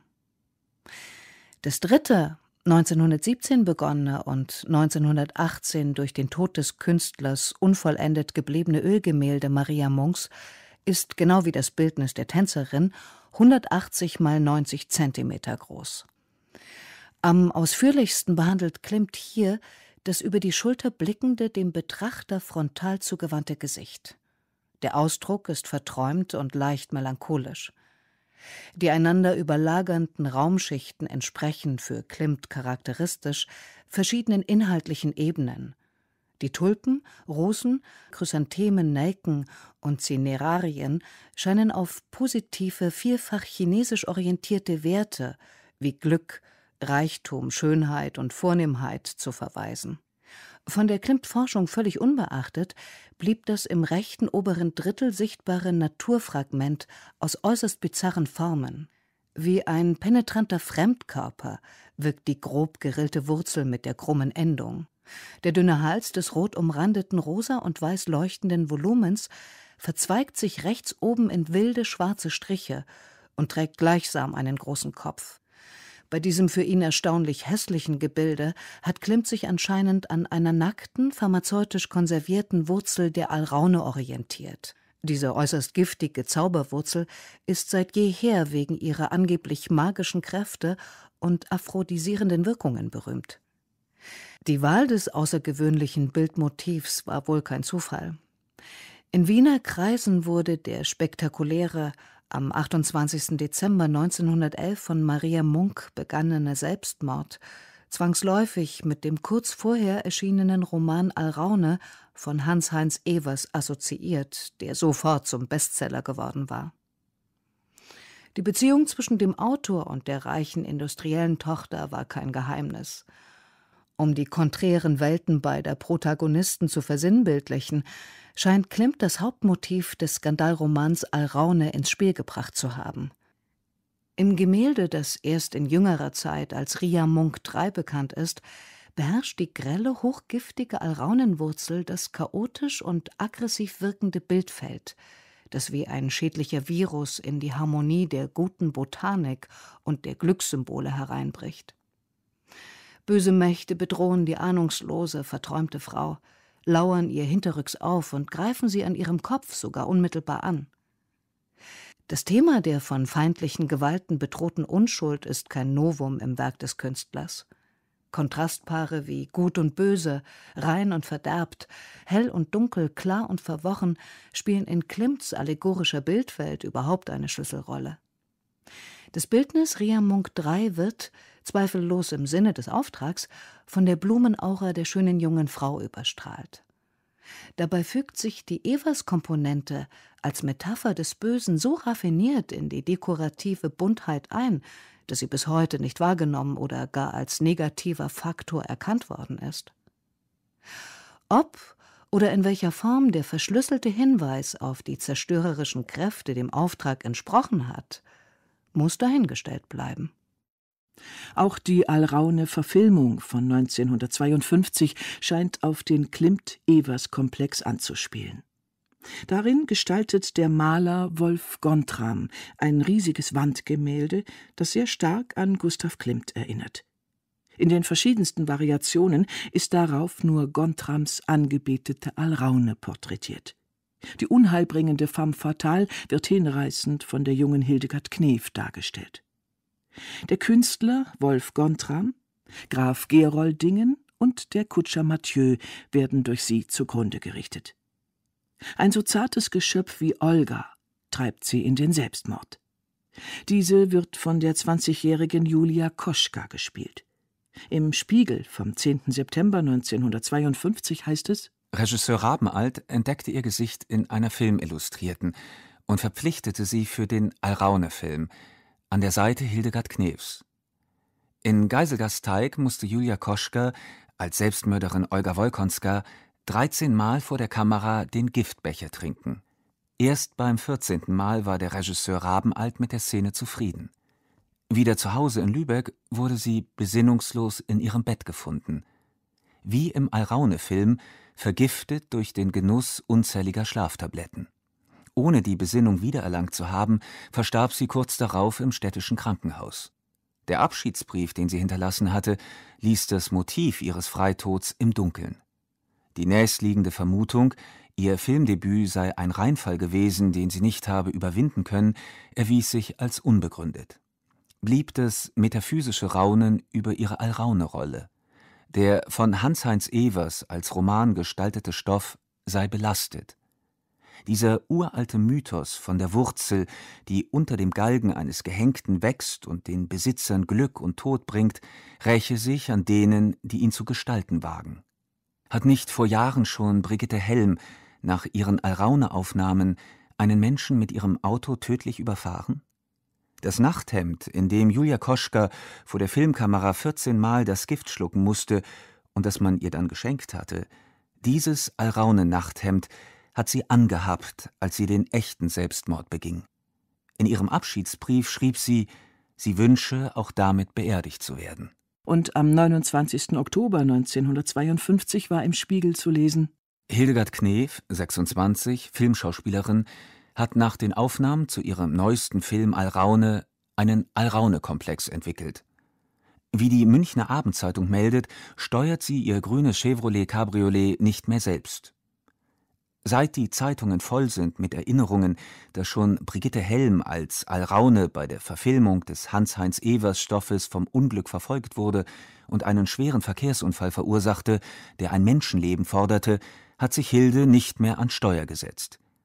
Der Freitod Julia Koschkers, die neben Hilde eine kleine Rolle im Alraune-Film zu spielen hatte, schürt den Alraune-Komplex noch mehr.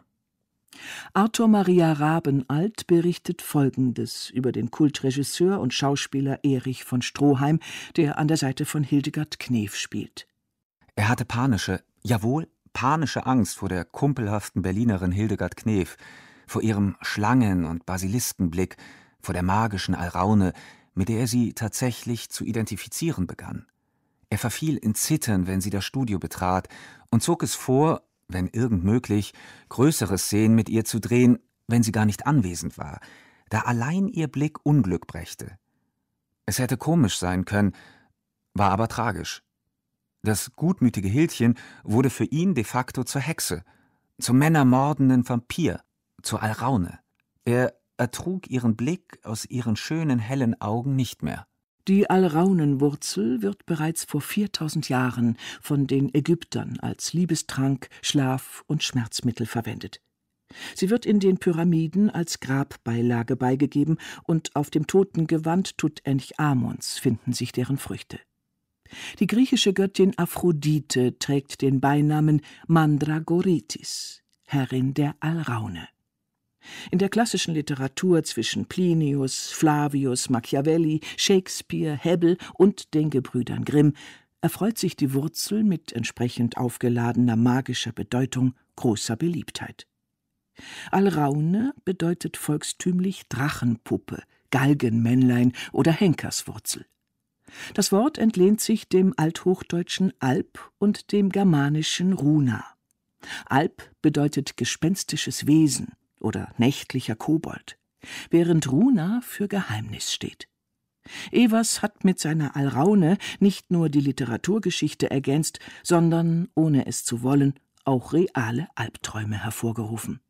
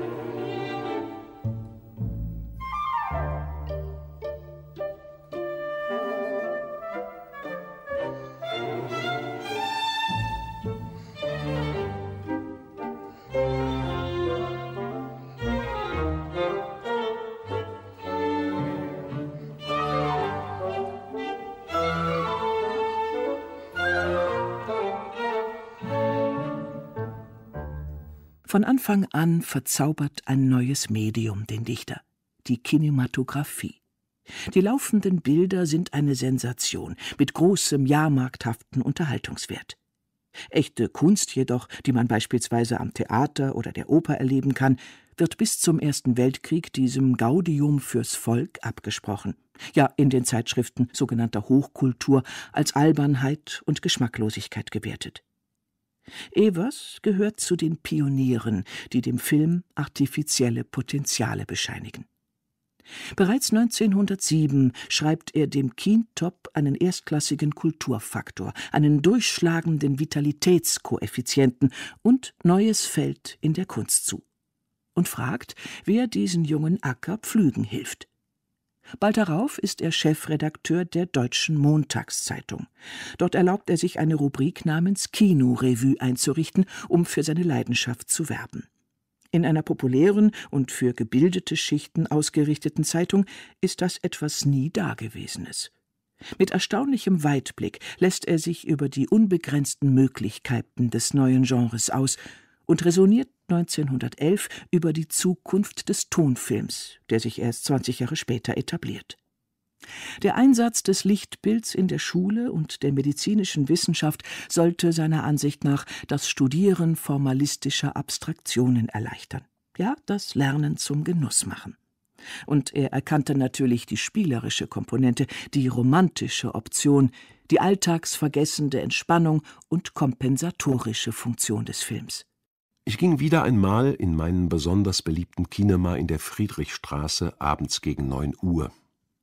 Da stand eine junge Frau vor dem Eingange und schaute sehnsüchtig die Bilder an.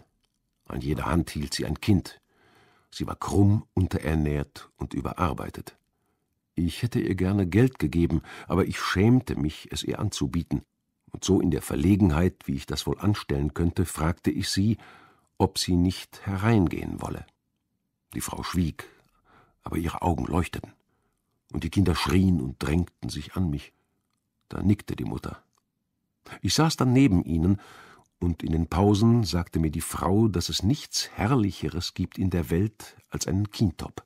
Jetzt sei sie schon lange nicht mehr dagewesen, da der Mann keine Arbeit habe, und gerade jetzt sehne sie sich so danach. Warum gerade jetzt? fragte ich. Sie sah mich groß an. Das ist doch natürlich. Hier vergisst man doch alles. Und wenn Sie wüssten, wie es bei uns zugeht. Ab 1913 ist Evers den theoretischen Avancen für den Film überdrüssig und legt selbst Hand an. Bis 1914 wird er für 14 Spielfilme die Drehbücher schreiben, teilweise Regie und Produktionsleitung übernehmen und sogar als Darsteller agieren. Zusätzlich flimmern einige seiner literarischen Stoffe wie Alraune von der Kinoleinwand. Evers darf sich zugutehalten, Theaterschauspieler wie Paul Wegener, Grete Berger, Ernst Lubitsch und Tilla Durieux für das Filmgeschäft gewonnen zu haben. Er dreht auch mit Alexander Moissi, Enrico Caruso, Emmy Destin, Brigitte Helm und Werner Kraus. Evers ist eine zentrale Figur der neuen Kunstrichtung. Sein Film Der Student von Prag mit Paul Wegener in der Hauptrolle hat wie kaum ein anderer dieser Zeit das deutsche Filmschaffen inspiriert. Das Werk wird 1913 im Mozartsaal des Theaters am Berliner Nollendorfplatz uraufgeführt. Es ist der Ursprung des Autorenfilms und bietet einige Besonderheiten. Drehbuch, Produktion und Regie übernimmt Evers selbst, Regieassistenz der Däne Stellan Rue. Die Geschichte des Films ist an Chamissos Peter Schlemihl und Wilds Dorian Gray angelehnt. Balduin, ein armer Student, verkauft dem Teufel sein Spiegelbild. Doch das veräußerte Spiegelbild erscheint nun Balduin als bedrohlicher Doppelgänger. Letztlich schießt Balduin in seiner Verzweiflung auf das dämonische Ich und stirbt dabei selbst. Die Handlung ist nach Prag verlegt und spielt dort in historischen Straßen und alten Schlössern. Die von Evers detailliert geplanten Lichteffekte wirken wie Klerobskür-Kontraste von Eros und Todesengel und zeigen eine starke Affinität zum Spiel mit archaischen Mythen. Die Verbindung von Lust und der Fühlung mit dem Tod verbildlicht das Motiv gesellschaftlicher Entgrenzung. Die Szenerie auf dem jüdischen Friedhof lässt atmosphärisch Gustav Meyrings Golem vorausahnen. Als der Student von Prag am 22. August 1913 uraufgeführt wird, scheinen die meisten Journalisten im Urlaub zu sein. Evers ist außer sich und schreibt noch am selben Tag an einen Kritiker Ich bin ganz ungeheuer deprimiert. In der ehrlichen Überzeugung, dass man wohl Kunst auch im Kino schaffen könne, bin ich dieses Jahr in Berlin geblieben, habe wie ein Tier gearbeitet. Sie machen sich keinen Begriff von der ungeheuren Arbeit, die in dem Film Der Student von Prag steckt. Wegener und ich haben fast drei Monate dafür geopfert. Stellen Sie sich nur vor, dass jede der Doppelgängerszenen, bei denen Wegener zweimal auf dem Film ist, wenigstens acht bis zehnmal nachgedreht werden musste, ehe man so weit war, dass die Bewegungen harmonisierten. Ich wollte alles das ausnutzen, was das Kino vor dem Theater voraus hat. Alle die Möglichkeiten zeigen, die der Bühne immer verschlossen bleiben müssen. Und die Blätter registrieren, wie bei irgendeinem Dutzendfilm hundertsten Ranges. Alle Kritiker ersten Ranges sind weg. So hatte ich nur eine kleine Schmöke da, die gar nicht begreifen können, was ich eigentlich wollte. Ich spiele mit Wegener und bekannten Namen der Reinhardtbühnen mit großen Kosten, über 40 Mille, bei dem ich den Versuch mache, neue Kunst auf neue Möglichkeiten im Kino zu zeigen, der Kunst also ein neues Gebiet zu erobern, und werde von der Presse behandelt wie der letzte Dreck. 20 Zeilen unter Lokales und fertig. Ich bitte, seien Sie so gut, nehmen Sie die Feder und schreiben Sie etwas in der BZ. Verreißen Sie mich, wie Sie wollen, tadeln Sie, was überhaupt nur zu tadeln ist. Aber verschaffen Sie mir die Genugtuung, dass wenigstens ein Blatt Berlins eine Arbeit, die so ernst ist, auch ernst nimmt. Auch das Betteln um diese Kritik bleibt ungehört. Und trotzdem wird der Film vom Publikum vor allem wegen der künstlerischen Innovationen gefeiert. Ein Zeitgenosse berichtet, dass die Zuschauer im Kinosaal aufgeschrien haben und ihren Augen nicht trauten, als die gleiche Person zweimal auf der Leinwand erschien. Und schließlich stimmen auch die Kritiker wohlwollend ein, und der Student von Prag wird die Weltbedeutung des deutschen Kinos begründen. Hier wurde zum ersten Mal ein Drehbuch von einem namhaften Autor geschrieben. Zum ersten Mal stellte sich ein Theaterstar wie Paul Wegener dem bewegten Bild zur Verfügung. Zum ersten Mal wurde in einem Spielfilm der Gedanke in die Tat umgesetzt, den Darsteller durch Doppelbelichtung sich selbst gegenübertreten zu lassen. Und es war das erste Mal, dass für einen Film Musik komponiert wurde. Und zwar von dem Listschüler Josef Weiß.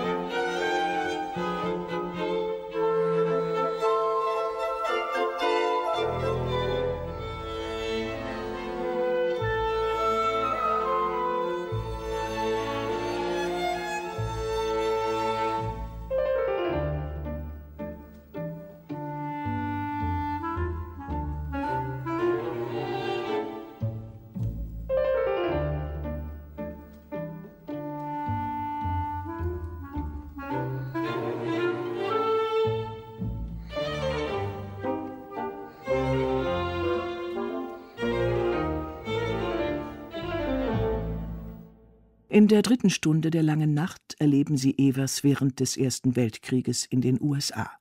Seine dortige Internierung, sein Comeback in Deutschland in den 20er Jahren und schließlich seine fatale Liaison mit den Nazis.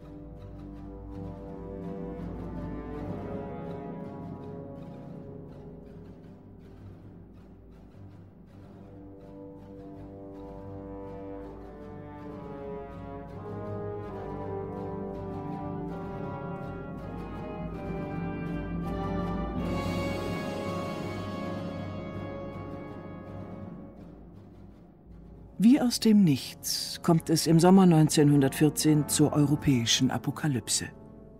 Die Fakten sind bekannt, die Hintergründe umstritten. Nachdem der österreichische Thronfolger Franz Ferdinand und seine Gemahlin am 28. Juni in Sarajevo ermordet werden, hält ganz Europa den Atem an, um dann in verschiedenen Konstellationen und Allianzen über sich herzufallen. Besonders frappierend ist, dass die katastrophalen Geschehnisse gleichermaßen von Aristokraten, Bürgern, Arbeitern, Bauern und darüber hinaus von allen Konfessionen und politischen Parteien ekstatisch bejubelt werden. Auch Literaten, bildende Künstler und Wissenschaftler wie Gerhard Hauptmann, Max Scheler, Max Reinhardt, Franz Marc, Max Liebermann, Wilhelm Röntgen und Max Planck zeigen sich zumindest bei Kriegsbeginn von den Ereignissen euphorisch berauscht. Im Spätsommer 1914 triumphiert allseits die Ideologie des Nationalismus. Unfassbar plump wird die eigene Tugend mit der angeblich verderbten Nachbarnation verglichen. Thomas Mann stellt der Kunst die Elementarmacht des Krieges an die Seite und schlussfolgert, dass Deutschlands Schönheit sich erst im Krieg entfalten könne. Die Intellektuellen preisen in diesem Waffengang weniger ökonomische Interessen als die nationale Ergriffenheit für einen höheren Sinn der Wahrheit. In pathetisch heroischem Ton wird der Krieg als notwendiger Ausweg aus einer tiefen Sinnkrise beschworen.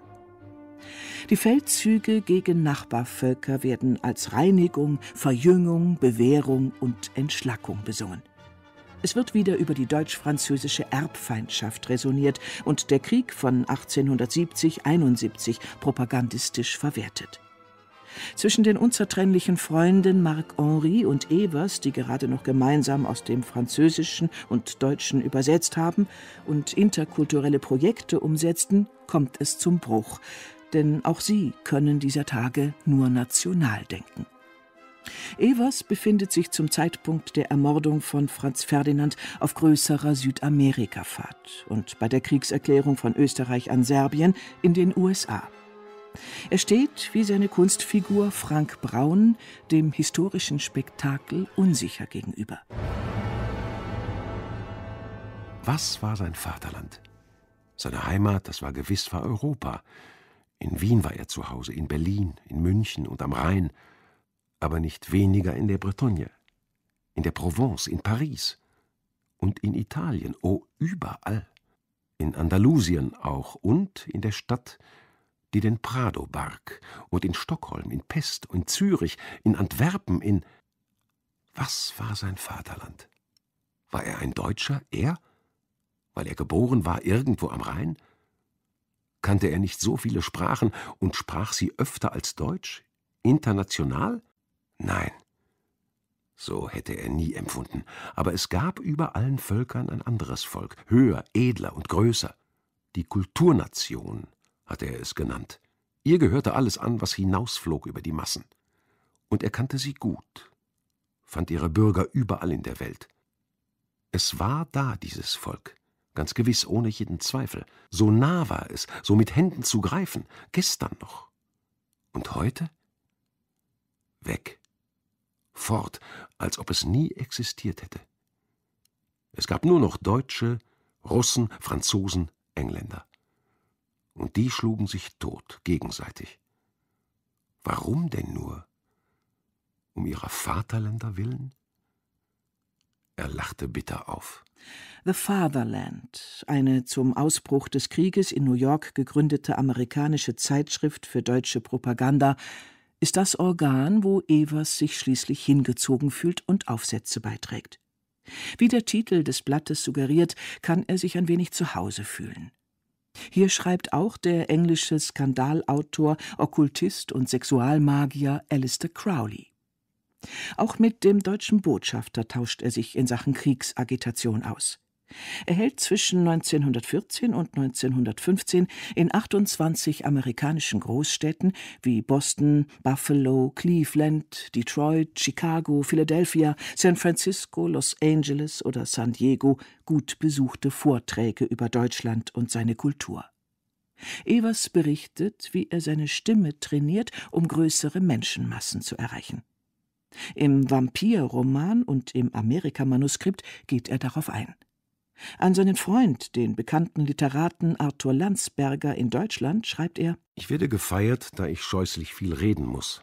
Diese Woche neunmal, meist in Englisch. Ich bekomme grässlich viel Sekt und habe immer schöne Autos zur Verfügung. Auch bin ich stets ab sieben im Frack, oh die Ellenbogen, und verbrauche zwei Hemden am Tag. Aber die Miete bin ich natürlich schuldig und die Wäsche und alles andere auch. Und da Evers zwar die Miete schuldig bleibt, keinesfalls aber auf Luxus und hochwertigen Wein verzichtet, muss er sich darüber hinaus verdingen. Er schreibt Filmszenarien, Theaterstücke und Opernlibretti. Da er jedoch auf die schlechte Bezahlung eines geduldeten Ausländers angewiesen ist, wird er noch zusätzlich als Schauspieler tätig. Auf der Bühne ist er unter anderem im New Yorker Irving Place Theater zu sehen. Dort spielt er in Strindbergs Stück Nachtigall von Wittenberg die Rolle des Ulrich von Hutten so überzeugend, dass die Presse jubelt. Im fernen Dresden wird derweil Eugène d'Alberts Oper Die toten Augen uraufgeführt. Die im März 1916 stattfindende Premiere an der Hofoper mit dem Libretto von Marc Henry und Hans-Heinz Evers ist ein Publikumserfolg. Die Oper wird bald auf Schellack gepresst in über 80 europäischen Häusern, sogar im feindlichen London gespielt und schließlich in New York aufgeführt. Die berühmteste Stelle ist die Sopranarie Psyche wandelt durch die Säulenhallen. Hier wird musikalisch das ätherische Wesen der tragischen Hauptfigur eingefangen.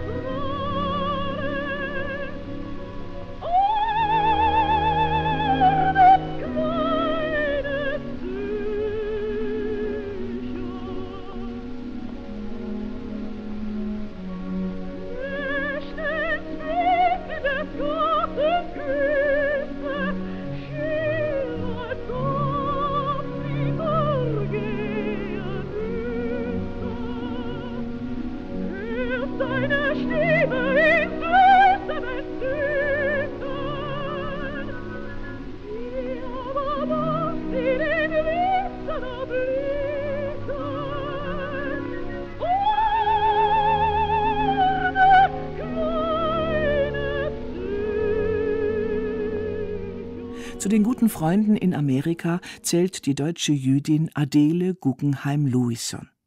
Sie hat in New York einen reichen Anwalt geheiratet und ist dann früh verwitwet.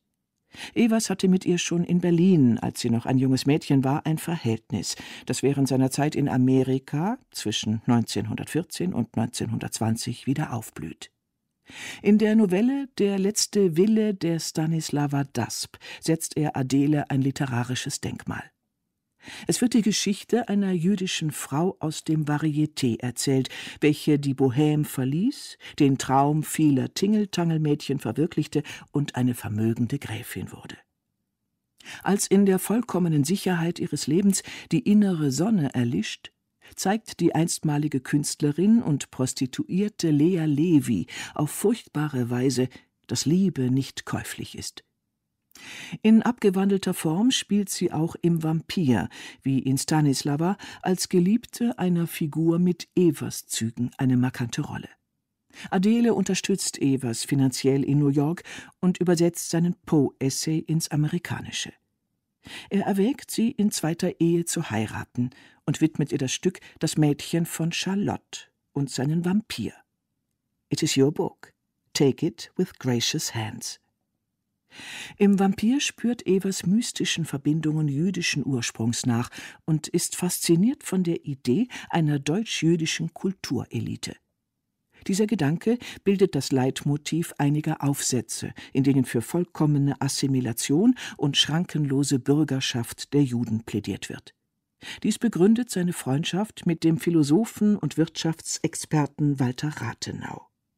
Evers findet sich neben Martin Buber in dem verbreiteten Sammelband Prinzessin Sabbat und studiert intensiv den in London lebenden Autor Israel Zangwill. Der vielgelesene Zionist war früher Anhänger Theodor Herzls und Gründer der jüdisch-territorialistischen Organisation. Evers besorgt die auf sieben Bände anwachsende Übersetzung und Herausgabe seiner Werke. Mit Rathenau korrespondiert er aus den USA über seine deutschnationalen Agitationen. Gleicherweise ist er über Rathenaus Fortschritte mit der Kriegsrohstoffabteilung informiert. Evers beklagt sich über die Unfähigkeit deutscher Diplomaten in Washington, den antideutschen Kampagnen der amerikanischen Presse etwas entgegenzusetzen. Gleichsam wie mit einem siebten Sinn ausgestattet, tauscht sich Evers während des Krieges mit dem vorrangig als Autor und Mäzen bekannten Rathenau über brisante Details der Außenpolitik aus. Dass dieser 1922 Außenminister werden wird, liegt damals noch in den Sternen. Evers Berichterstattung aus Amerika erinnert in Art und Detail an eine Agententätigkeit. Rathenau schreibt im Juli 1915 verschlüsselt von einem Rittergut, das durch geeignetere Kräfte bewirtschaftet werden könne, und freut sich auf den Geschäftsbericht, den Evers dafür in Aussicht stelle. Mit dem Rittergut ist die deutsche Botschaft in Washington und dem Geschäftsbericht das Amerika-Manuskript gemeint. Auch Rathenau wird es später im Roman Fundvogel ein literarisches Denkmal setzen. In den USA beschäftigt Evers die Frage, warum hasst man die Deutschen? Am meisten hat den Deutschen im Ausland von jeher geschadet das überlegene Lächeln. Es ist der Mann, der nach oben Hurra schreit und nach unten Fußtritte austeilt. Der Mann der Ordnung, der das Schema F erdacht hat. Der Mann, der sein Fach gründlich kennt, der ein sehr tüchtiger Richter, Oberlehrer, Unteroffizier, Zollbeamter oder Polizist sein kann, der aber weder ein Verständnis noch Interesse für irgendetwas anderes in der Welt hat, der Mann des kleinen Horizonts und des schlecht sitzenden Kaisergeburtstagsfracks, der Mann, der seine Käseglocke für die Welt und die dicke Made, sich selbst, für deren Mittelpunkt hält, der Mann, der nur die Sprossenleiter seines Lebens kennt, der die Rangordnung erfunden hat und die Zeichen seiner Würde auf der Visitenkarte trägt. Es ist der Mann, dem der Titel Geheimrat und Exzellenz Glanz bedeutet und zugleich tiefe Ehrfurcht einflößt, der instinktives Misstrauen gegen alles hat, was nicht so denkt wie er selbst, und dieses Misstrauen mit einer herausfordernden Arroganz zur Schau trägt. Kurz, es ist der Mann des subalternen Geistes, den sein Amt für sich und seine Untergebenen zum lieben Gott macht. Ich lege meine Hand dafür ins Feuer, dass kein Land der Welt auch nur entfernt so pflichteifrige, tüchtige und gut ausgebildete Beamte hat wie Deutschland. Das leuchtet aus seinem Lächeln, das strahlt aus seiner ganzen Person. Und er ist der Mann, den man draußen für den typischen Deutschen nimmt, für den er sich ergibt, er ist der Mann, der deutsches Wesen im Ausland diskreditiert und verhasst macht. Beamte wie der Chef des deutschen Propagandakabinetts in Amerika, Exzellenz Dernburg, und der deutsche Botschafter, Graf von Bernstorff, sind dem Dichter ein Greuel. Der lässt sich lieber, wie in seiner Zeit als Varieté-Künstler, mit der Halbwelt ein, beteiligt sich an Passfälschungen für deutsche Landsleute oder versucht mittels privater Beziehung das Zeichnen englischer Kriegsanleihen zu verhindern. Es ist ihm ein Anliegen, die USA vom Kriegseintritt abzuhalten. Um England zu schwächen, ist er mit Alistair Crowley aktiv für ein deutsch-irisches Bündnis engagiert. Die beiden zu magischen Ritualen, Drogen und sexuellen Enthemmungen neigenden Autoren nutzen ihre politischen Visionen, um sie mit okkulten Themen zu verbinden. 1915 fährt Evers nach Mexiko, um den Rebellenfürsten Francisco Villa, genannt Pancho, zu animieren, in die Südstaaten einzufallen. Das sollte die USA davon abhalten, mit der Entente gegen Deutschland zu kämpfen. Evers hatte den selbsternannten Diktator Villa schon 1906 in Mexiko kennengelernt. In der Folge kommt es tatsächlich zu Massakern an US-amerikanischen Bauingenieuren und Überfällen in Kleinstädten New Mexikos. Eine Gegenoffensive durch General Pershing bringt die beiden Staaten tatsächlich an den Rand eines Krieges. Doch die USA treten dennoch der Entente gegen Deutschland bei und im Juni 1918 meldet die New York Times, dass Evers inhaftiert worden sei. 13 Monate Gefängnis und Lagerinternierung bringen ihn an den Rand seiner seelischen und körperlichen Kräfte. Da ihn kaum Post erreichen kann, aber hin und wieder Bücher zugelassen werden, schreibt ihm sein Freund Landsberger kurzerhand einen Geburtstagsbrief als Vorwort in seinen gerade erschienenen Roman. Darin erfährt der Inhaftierte, dass er in der Heimat und im Felde der meistgelesene deutsche Autor sei. Eine große Schar Freunde und Verehrer beiderlei Geschlechts würden an ihn denken. Evers erkrankt im Frühjahr 1919 so schwer, dass er in ein Hospital gebracht und operiert werden muss. Durch die Bemühungen des späteren Nobelpreisträgers John Galesworthy und mit einer hohen Kaution wird Evers auf freien Fuß gesetzt. Der Abenteurer und Hasardeur verspürt nunmehr eine große Sehnsucht nach Geborgenheit, die er in einer festen Bindung zu finden glaubt. Er verlobt sich mit der 25 Jahre jüngeren Josephine Bu Miller aus Los Angeles, die er auch in zweiter Ehe heiratet. Adele ist aus dem Rennen. Frieden war ausgebrochen, und man musste mich gnädigst aus dem Lager herauslassen. Nur dachte man nicht daran, mir die gütige Erlaubnis zu geben, heimfahren zu dürfen. In dieser Zeit wurde die allgemeine Prohibition ausgerufen, alle Brauereien geschlossen, überall im Lande, die Whiskybrennereien Kentuckys vernichtet, Kaliforniens Weinberge brachgelegt, trockengelegt eine ganze Bevölkerung von über 100 Millionen. Und ich auch. Nun, es kam ein wenig anders. Es ist zum großen Sport geworden, dem Gesetz bei jeder Gelegenheit ein Schnippchen zu schlagen. Ich habe Schnaps aus allen denkbaren Behältnissen trinken müssen, aus Füllfederhaltern und Automobilreifen aus Glühbirnen und Telefonhörern. Jedes Ding, das irgendwo hohl ist, scheint geeignet zu sein, Schnaps zu verbergen. Ich habe als Rheinländer eine Zunge, die mehr auf Qualität als auf Quantität Wert legt. Das aber ist gewiss, dass mich die Prohibition schließlich zum regelrechten Säufer gemacht hätte, wenn ich noch länger drüben geblieben wäre. Das Verbot zu trinken, die Unmöglichkeit, leichte und bekömmliche Getränke zu bekommen, hat sich dort zu einem Zwang ausgebildet, das schwerste und gesundheitsschädlichste Zeug bei jeder Gelegenheit herunterspülen zu müssen. Evers nutzte die erste Gelegenheit, um aus Amerika zu verschwinden. Er freute sich auf Deutschland, das ihn nicht vergessen habe, wie Landsberger schrieb. Es war verabredet, dass seine junge Braut nachkäme, wenn für die Hochzeit alles arrangiert sei. Doch in der Heimat scheint bis auf seine Mutter niemand auf ihn gewartet zu haben. Die Presse höhnt Berlin inszeniert doch sonst so prachtvolle historische Filme. Wo war die Regie für die Ankunft des Hans-Heinz Evers? Er hatte von Jüterburg eigens ein Coupé erster Klasse genommen, um eifrig durch das Spalier der Frauen zu schreiten. Und nun war gar niemand zum Empfang da. Wo blieb das Begrüßungsbankett der Koryphäen? Und der Reigen der Verleger mit den Viertelmillionen-Schecks der Heimat? Wo waret ihr? 13 Monate amerikanische Internierung hatten sowohl den Nationalpatriotismus als auch die Heimatsehnsucht des Dichters verstärkt, und nun gestaltet sich alles trostlos und deprimierend. Die Berliner Wohnung am Savignyplatz wurde in seiner sechsjährigen Abwesenheit geplündert und die meisten Manuskripte gestohlen.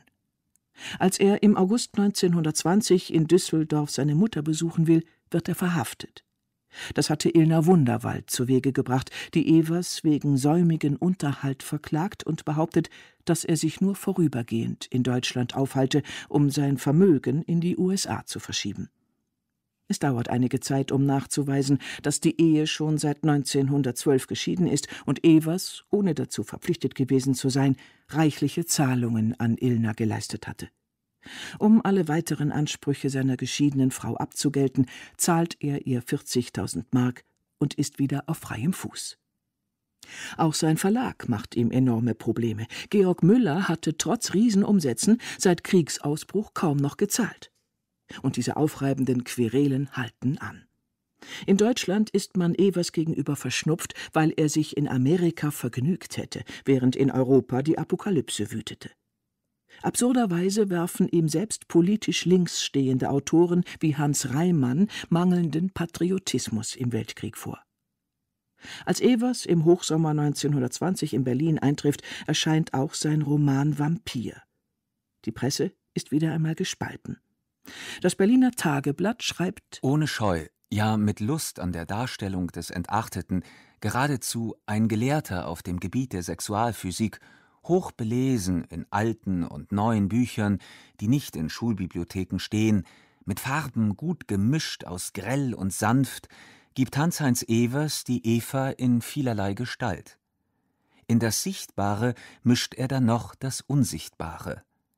Der Dichter der Alraune späht nach den verwegenen Zusammenhängen der Geschlechter und den geheimen Triebkräften der Menschheit.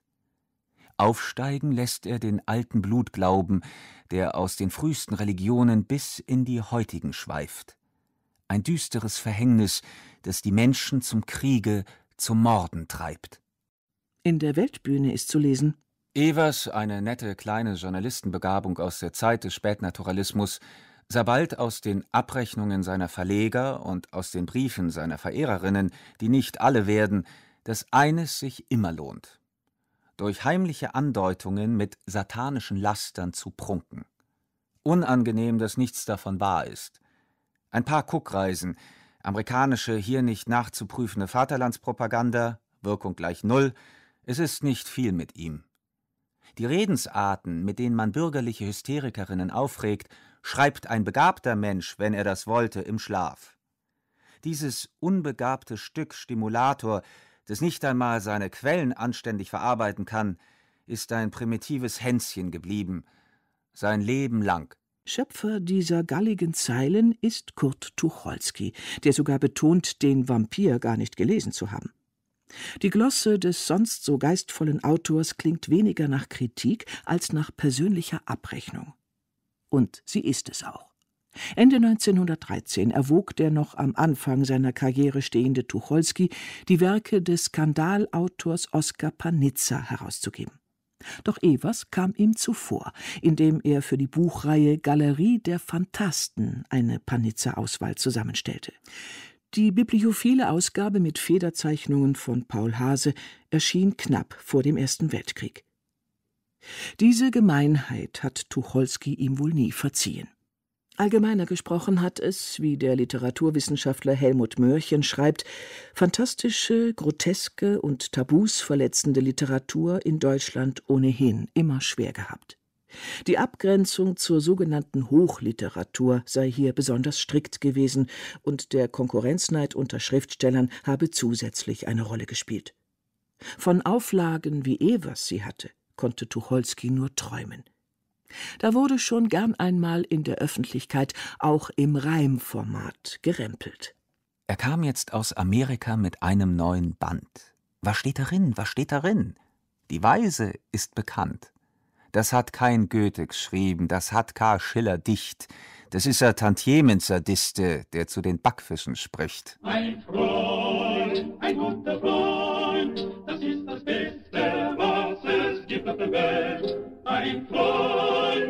Immer Freund, und wenn die ganze Welt zusammenfällt und sei auch nie betrübt, wenn dein Schatz sich nicht mehr liebt, ein Freund, ein guter Freund, das ist der höchste Schatz, den's gibt.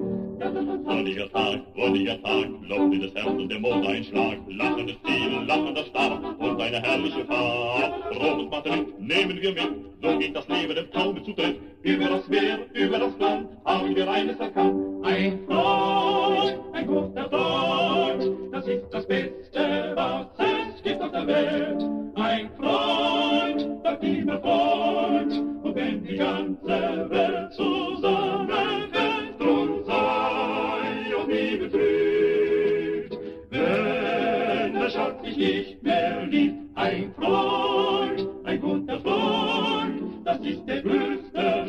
den's. Der von Tucholsky als Tantiemen-Sadist verspottete Evers hat seine Künstlerkollegen nicht diskreditiert. Es gehört zu seinen Vorzügen, Autoren wie Erich Mühsam, Arthur Landsberger oder Alexander Roda-Roda mit Aufträgen zu versorgen und sich für diese bei Verlegern stark zu machen.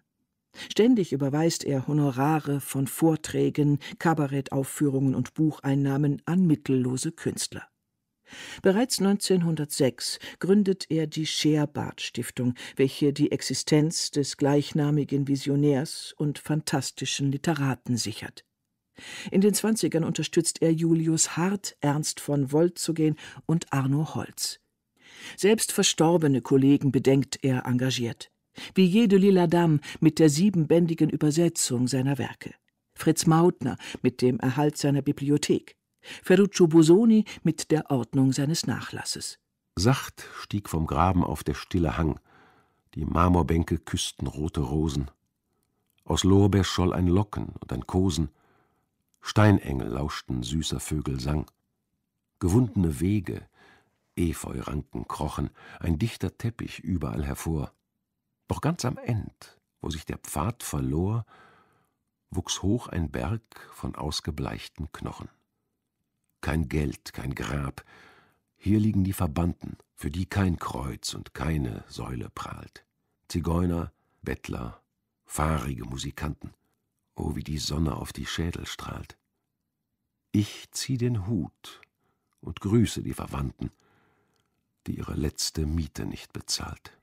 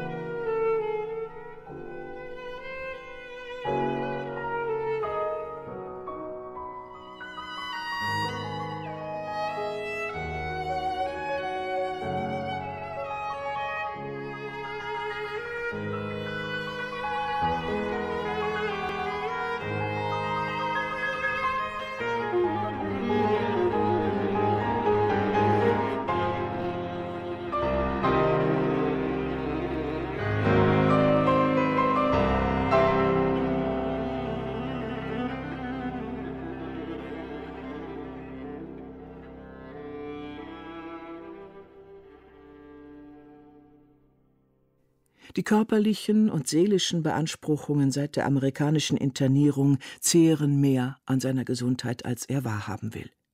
Daher wird im Oktober 1920 eine Kur in Bad Kissingen notwendig. Schon während des Kuraufenthalts fängt es bei Evers wieder an zu sprudeln, und der literarische Haudegen läuft zu alter Form auf. Mit der Typhus Marie gelingt ihm eine meisterhafte Novelle über eine Frau um die 50. Die überaus geschmackvolle und elegante Marie Stuyvesant wird darin von einem maskulinen Gremium beschuldigt, mit bloßer Anwesenheit unselige, ja tödliche Ereignisse zu provozieren. Doch das Hauptverbrechen der ein wenig an Alraune erinnernden dämonischen Grande Dame scheint die geist- und espritvolle Überlegenheit gegenüber der Männerwelt zu sein. Marie Stuyvesant ist beispielhaft für die besondere Gestaltungsfreude im Evers-Övre an starken, unabhängigen Frauen mit magischen Reizen. 1922 erscheint der Roman Geisterseher. Evers erlaubt sich, das gleichnamige Schiller-Fragment zu Ende zu schreiben. Auf dem Buchdeckel ist folgerichtig der edle Name des Klassikers neben dem des umstrittenen Alraune-Schöpfers zu lesen. Es geht ein Sturm der Entrüstung durch die Presse, denn sich an Schiller zu vergreifen sei der Gipfel der Respektlosigkeit. Das Berliner Tageblatt mutmaßt, dass Evers es gewesen sein könne, der in der Weimarer Fürstengruft den Schillerschädel stahl. Bessere Werbung lässt sich kaum denken. Die Bücher finden reißenden Absatz. Die nächsten drei Jahre arbeitet er an einem 500-seitigen Sachbuch über Ameisen. Die Myrmekologie, sprich Ameisenkunde, ist ein Spleen, dem Evers schon lange nachhängt. Er züchtet in Hotels, sehr zum Ärger der Gastgeber, ganze Kolonien der kleinen Krabbler, um sie studieren zu können. Das Buch ist auf dem wissenschaftlichen Stand seiner Zeit und enthält gleichzeitig erzählerische Ausbrüche. Ein paar Worte noch als Gebrauchsanweisung. Durch die nächsten Seiten soll man sich durchfressen. Man muss schon wissen, wie viel Beine ein Tier hat, wie viel Augen und Mägen und andere schöne Sachen. Wie es aussieht von draußen und drinnen, wo es wohnt, wie es sich fortpflanzt. Dann es hat mir Spaß gemacht, den schweren Stoff mit ein paar Geschichten zu unterbrechen. Weil ich ein Mensch bin, muss ich, trotz dem Gefasel verknöcherter Wissenschaftler, die Ameisen wie alle Tiere menschlich sehen. Anthropomorph. Warum sollen nicht einmal auch Menschen ameisenhaft sehen? Myrmekomorph. 1929 erscheint der Roman Fundvogel. Die Geschichte balanciert peinlich genau die wissenschaftlichen Möglichkeiten und Risiken einer Geschlechtsumwandlung. Das öffentliche Interesse an dieser Thematik ist immens. Der Roman wird 1930 verfilmt und von der Wirklichkeit im selben Jahr mit der ersten geschlechtsangleichenden Operation an Lili Elbe eingeholt. Magnus Hirschfelds Institut für Sexualwissenschaft führt die Eingriffe durch. Evers und der berühmte Arzt sind seit 25 Jahren befreundet. Der Dichter hatte Vorträge in Hirschfelds wissenschaftlich-humanitärem Komitee gehalten und die vom Komitee eingebrachte Petition gegen die Strafbarkeit von Homosexualität unterschrieben. Gemeinsam mit Hirschfeld hatte er auch Einführungen zu der dreibändigen Prachtausgabe Liebe im Orient geschrieben und der Kunst erotischer Techniken. Nicht zufällig taucht Hirschfeld als literarische Figur im Drama Enterbt und im Roman Fundvogel auf. Der Berliner Kunstpapst Alfred Flechtheim schreibt in seiner Avantgarde-Zeitschrift Der Querschnitt über den Roman Meinem Freunde Hans-Heinz Evers fällt auf einer Seite mehr ein als anderen deutschen Schriftstellern in dicken Wälzern. Eine außerordentliche Fantasie. Ich beglückwünsche Evers zu diesem Werke, dem interessantesten Buche seit Jahren, das man nicht liest, das man verschlingt. Einen großen Nazi hat sie, einen kleinen Nazi hat sie, hat den großen und den kleinen Nazi gern. Sagt zum großen Nazi Schatzi, sagt zum kleinen Nazi Schatzi und achtet aus der Stadt die feinen Herren. Drum tut mir jeder Herr leid, wenn er in der Schweiz verliebt in meine Sennerin. Einen großen Nazi hat sie, einen kleinen Nazi hat sie, denn sie ist in Punkt und Nazi-Kennerin. Der Sieben-Stäbe-Verlag schlägt Evers vor, ein aktuelles Buch über die politischen Folgen des Versailler Vertrages zu schreiben. Daraufhin arbeitet er sich vor allem in das Thema Fememorde ein. Der aus diesen Studien gewachsene Freikorpsroman Reiter in deutscher Nacht im Stil Ernst von Salomons und Arnold Bronnens erscheint im Frühjahr 1932 und empfiehlt sich wegen des nationalen Pathos gewissen Nazi-Kreisen. Evers lernt Röhm, Goebbels, Hitler kennen. Letzterer gibt ihm den Auftrag, einen Roman über Horst Wessel zu schreiben, der Ende 1932 erscheint. Doch obwohl von Evers auf Linie gebürstet, ist das Buch für die Nationalsozialisten wertlos. Das beschriebene Zuhältermilieu ist dem Märtyrer Wessel nicht zuträglich und eine Verbindung von christlichen Predigten mit SA-Agitation unerwünscht. Die Kommunisten werden zwar diffamiert, stehen aber im revolutionären Kampfgeist gegen das Bürgertum auf gleicher Ebene wie die SA. Ein charismatischer Kommunistenführer wird ausgerechnet mit dem Namen Schlageter gerufen, der Mitte der 20er Jahre ein zum Märtyrer stilisierter rechter Freischärler und damit Vorläufer Wessels war. Dr. Wilfried Kugel, Evers Kenner und Biograf, hat viele Manuskripte und Briefe im Umfeld des Dichters gerettet und bei Recherchen in den 1980er Jahren noch einige seiner Verwandten und Freunde kennengelernt. Oft wird ein vorschnelles Urteil über Evers gefällt, weil dieser mit den Nationalsozialisten anbändelte. Eine differenzierte Betrachtung ist allerdings angebracht. Sicher, Evers trat im November 1931 in die NSDAP ein und blieb bis zu seinem Lebensende Mitglied der Partei. Und er schrieb einen schlechten Roman über den SA-Mann Horst Wessel, den er persönlich gekannt hatte. Nach etlichen offiziellen Änderungsauflagen bemerkte Evers 1932 selbst It's more than a rotten work. Der Roman war nicht antisemitisch, was in Parteikreisen für Missfallen sorgte.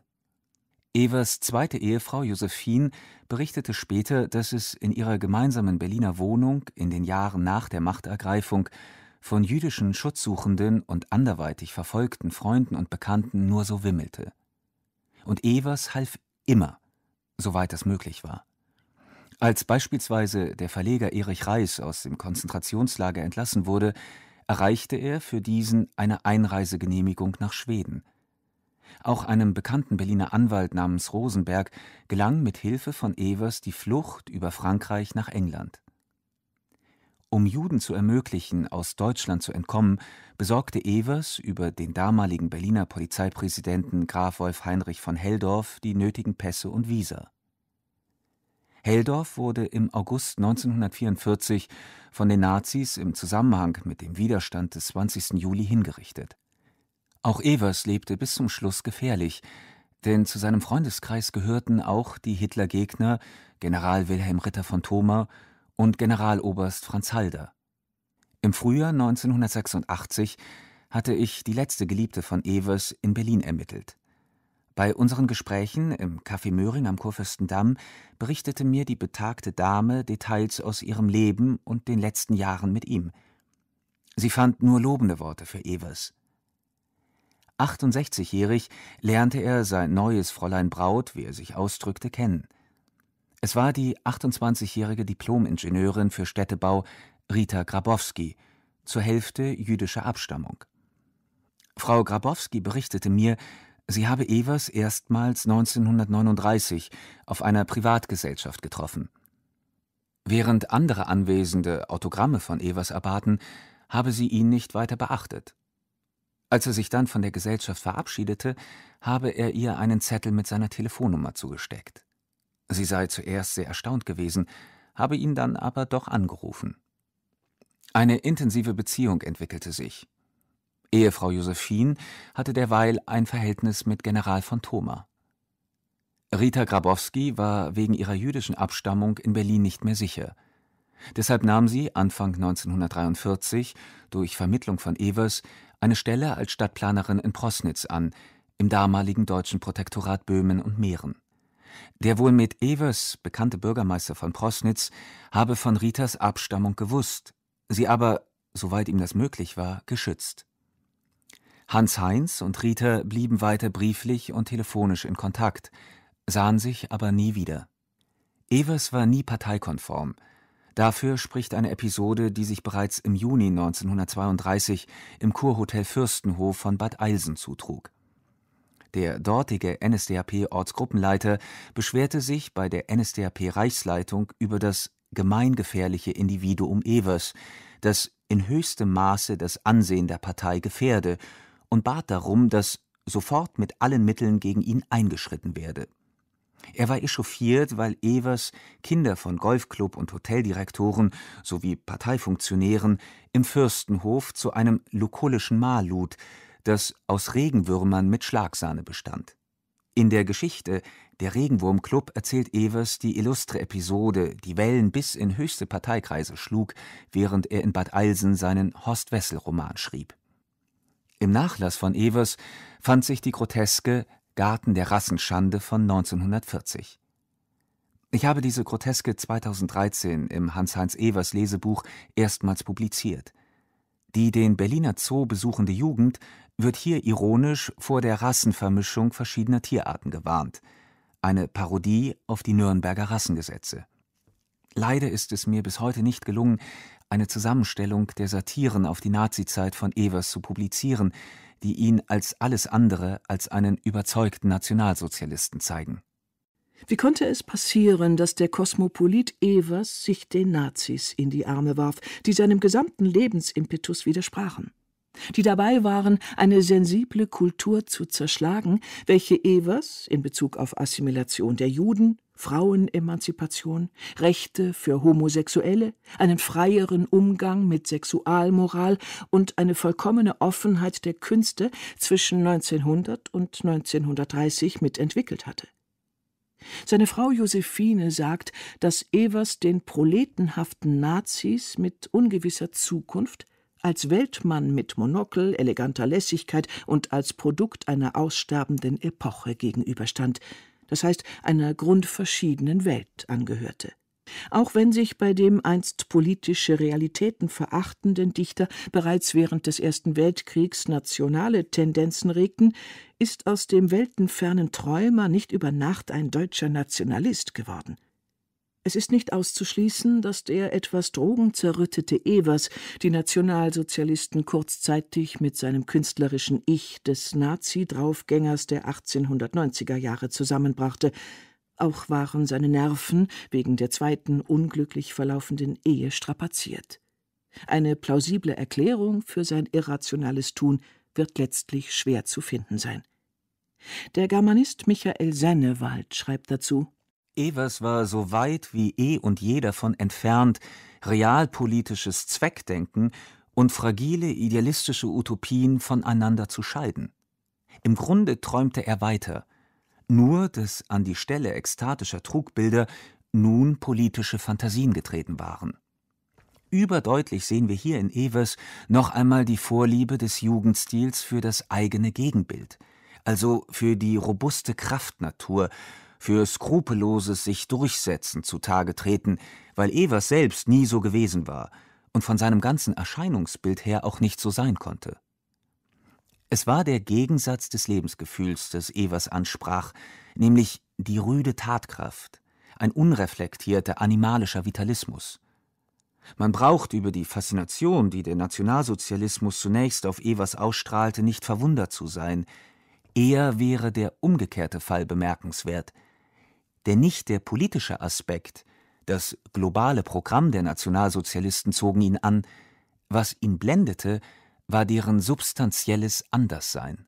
Auch die politische Philosophin Hannah Arendt sieht in ihrem Werk Elemente und Ursprünge totaler Herrschaft eine zeitweilige Annäherung zwischen sogenanntem Mob und gewissen Teilen der Elite. Beide entstammten dem Rand der Gesellschaft, kannten die Erfahrung der Ausgrenzung und hatten einen Ekel vor bestehenden Werten und bürgerlicher Zufriedenheit. Der aus einem expressionistischen Milieu stammende völkische Autor Hans Joost prägte die Sentenz Wenn ich Kultur höre, entsichere ich meinen Browning. Doch Evers musste schnell bemerken, dass das nicht mehr ein Spiel mit Worten war. Denn gleichzeitig gehen seine jüdischen Freunde einem furchtbaren Schicksal entgegen. Arthur Landsberger und Egon Friedel werden in den Freitod getrieben. Erich Mühsam wird ermordet. Else Lasker Schüler, Magnus Hirschfeld und Alfred Flechtheim sterben verarmt in der Emigration. Deutsche Männer und Frauen, das Zeitalter eines überspitzten jüdischen Intellektualismus ist nun zu Ende. Unser Durchbruch der deutschen Revolution hat auf dem deutschen Weg wieder die Gasse freigemacht. Und der kommende deutsche Mensch Goebbels Rede zur Bücherverbrennung am 10. Mai 1933 auf dem Berliner Opernplatz ist ein riesenhaft inszeniertes Spektakel. Neben den Büchern von Freud, Remarque, Tucholsky und Kästner werden auch Werke von Evers verbrannt. Mit dem Roman Alraune bringt Evers das Kunststück fertig, gleich zweimal verbrannt zu werden. Denn das Buch war bereits während des Ersten Weltkriegs wegen politischer Bedenklichkeit auf den Scheiterhaufen geworfen worden. Und deshalb tu dir gut daran, um diese mitternächtige Stunde den Ungeist der Vergangenheit, den Flammen anzuvertrauen. Und was macht der gefallene schwarze Engel der deutschen Literatur? Er stürzt sich wider alle Vernunft noch stärker in den Abgrund. Neun Tage nach der Bücherverbrennung veranstaltet der gleichgeschaltete Schutzbund deutscher Schriftsteller im Berliner Luxushotel Kaiserhof einen Empfang für regimekonforme Autoren und Verleger. Die Dresdner Neuesten Nachrichten berichten Hans-Heinz Ewers würdigte in seiner Begrüßungsansprache die Verdienste des Reichsministers Dr. Goebbels als Schriftsteller und Redner und bat die Reichsregierung, dass sie ihre schützende Hand über die deutschen Schriftsteller und Verleger halten möge, damit die so lang ersehnte Einheit zwischen nationalem Schrifttum und Verlegertum verwirklicht werden könne. Am Schluss der Veranstaltung brachte Hans-Heinz Ewers als besonderes Zeichen der innigen Verbundenheit der deutschen Schriftsteller und Verleger mit der Reichsregierung dem Minister eine von dem Berliner Bildhauer Walter Wolck geschaffene Hitlerbüste. Anstatt sich in dieser heiklen Situation zurückzuhalten, setzt Evers auf die schlechteste aller Karten, die der Anbiederung an die neuen Machthaber. In Folge entwickelt sich eine nicht aufhören wollende Pressekampagne, welche selbst für den in Sachen Kritik abgehärteten Dichter unvorstellbar ist.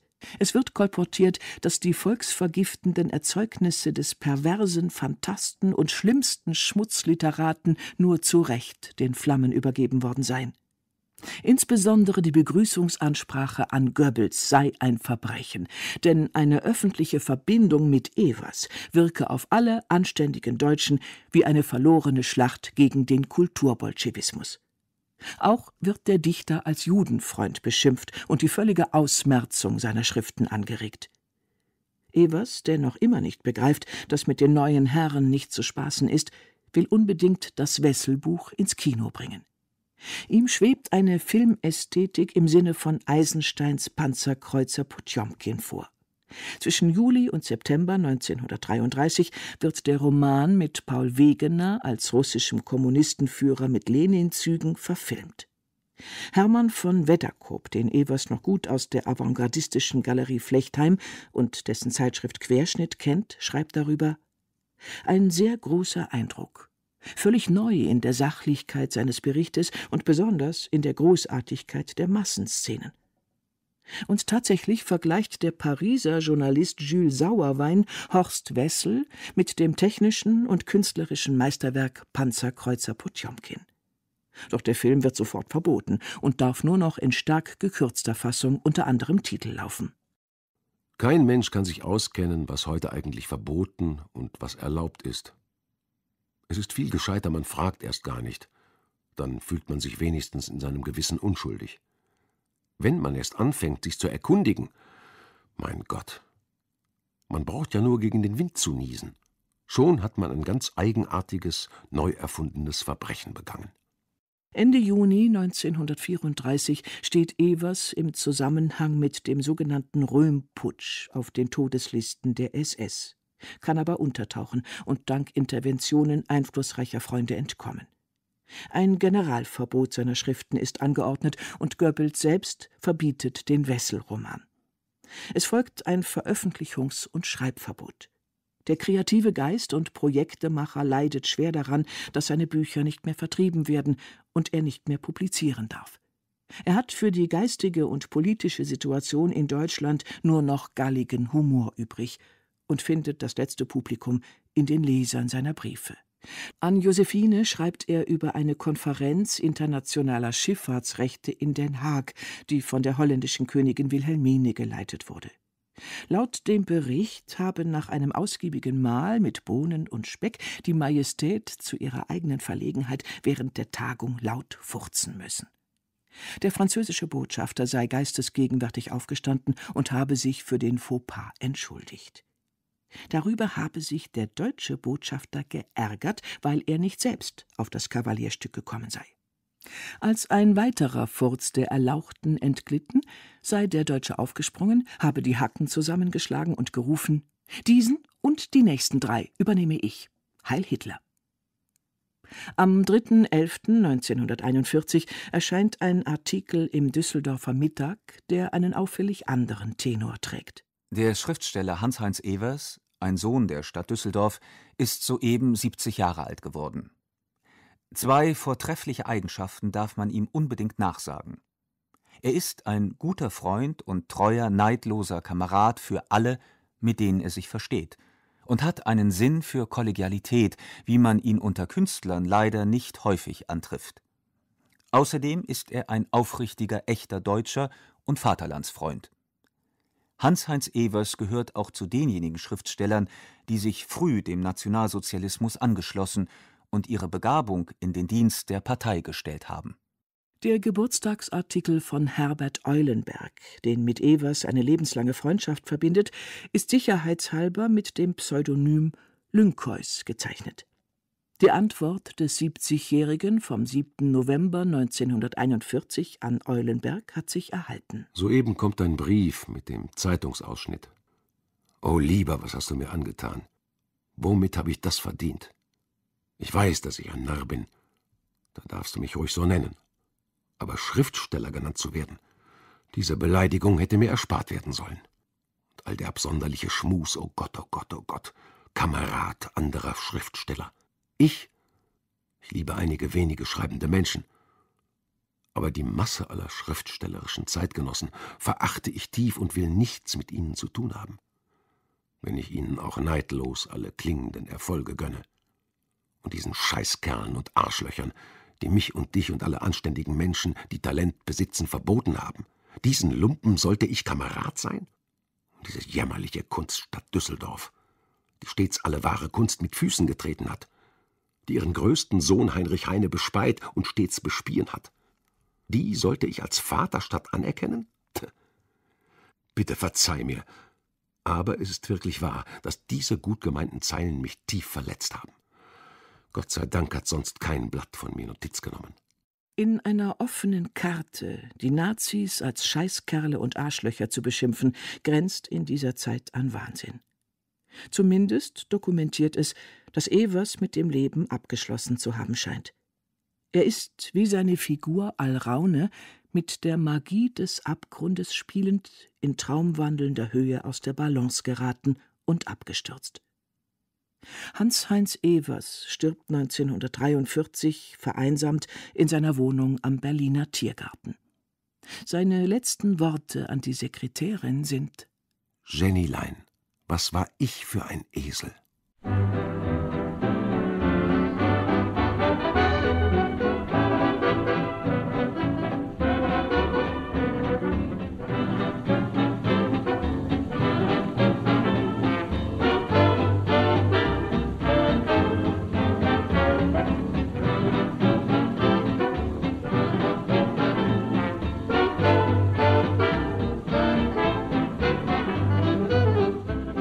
Verehrt und angespien. Die lange Nacht über den künstlerischen Grenzgänger Hans-Heinz Evers von Sven Brömsel. Es sprachen Gabriele Blum, Wolfgang Rüther, Simone Kapst, Max Urlacher, Thomas Fedrowitz.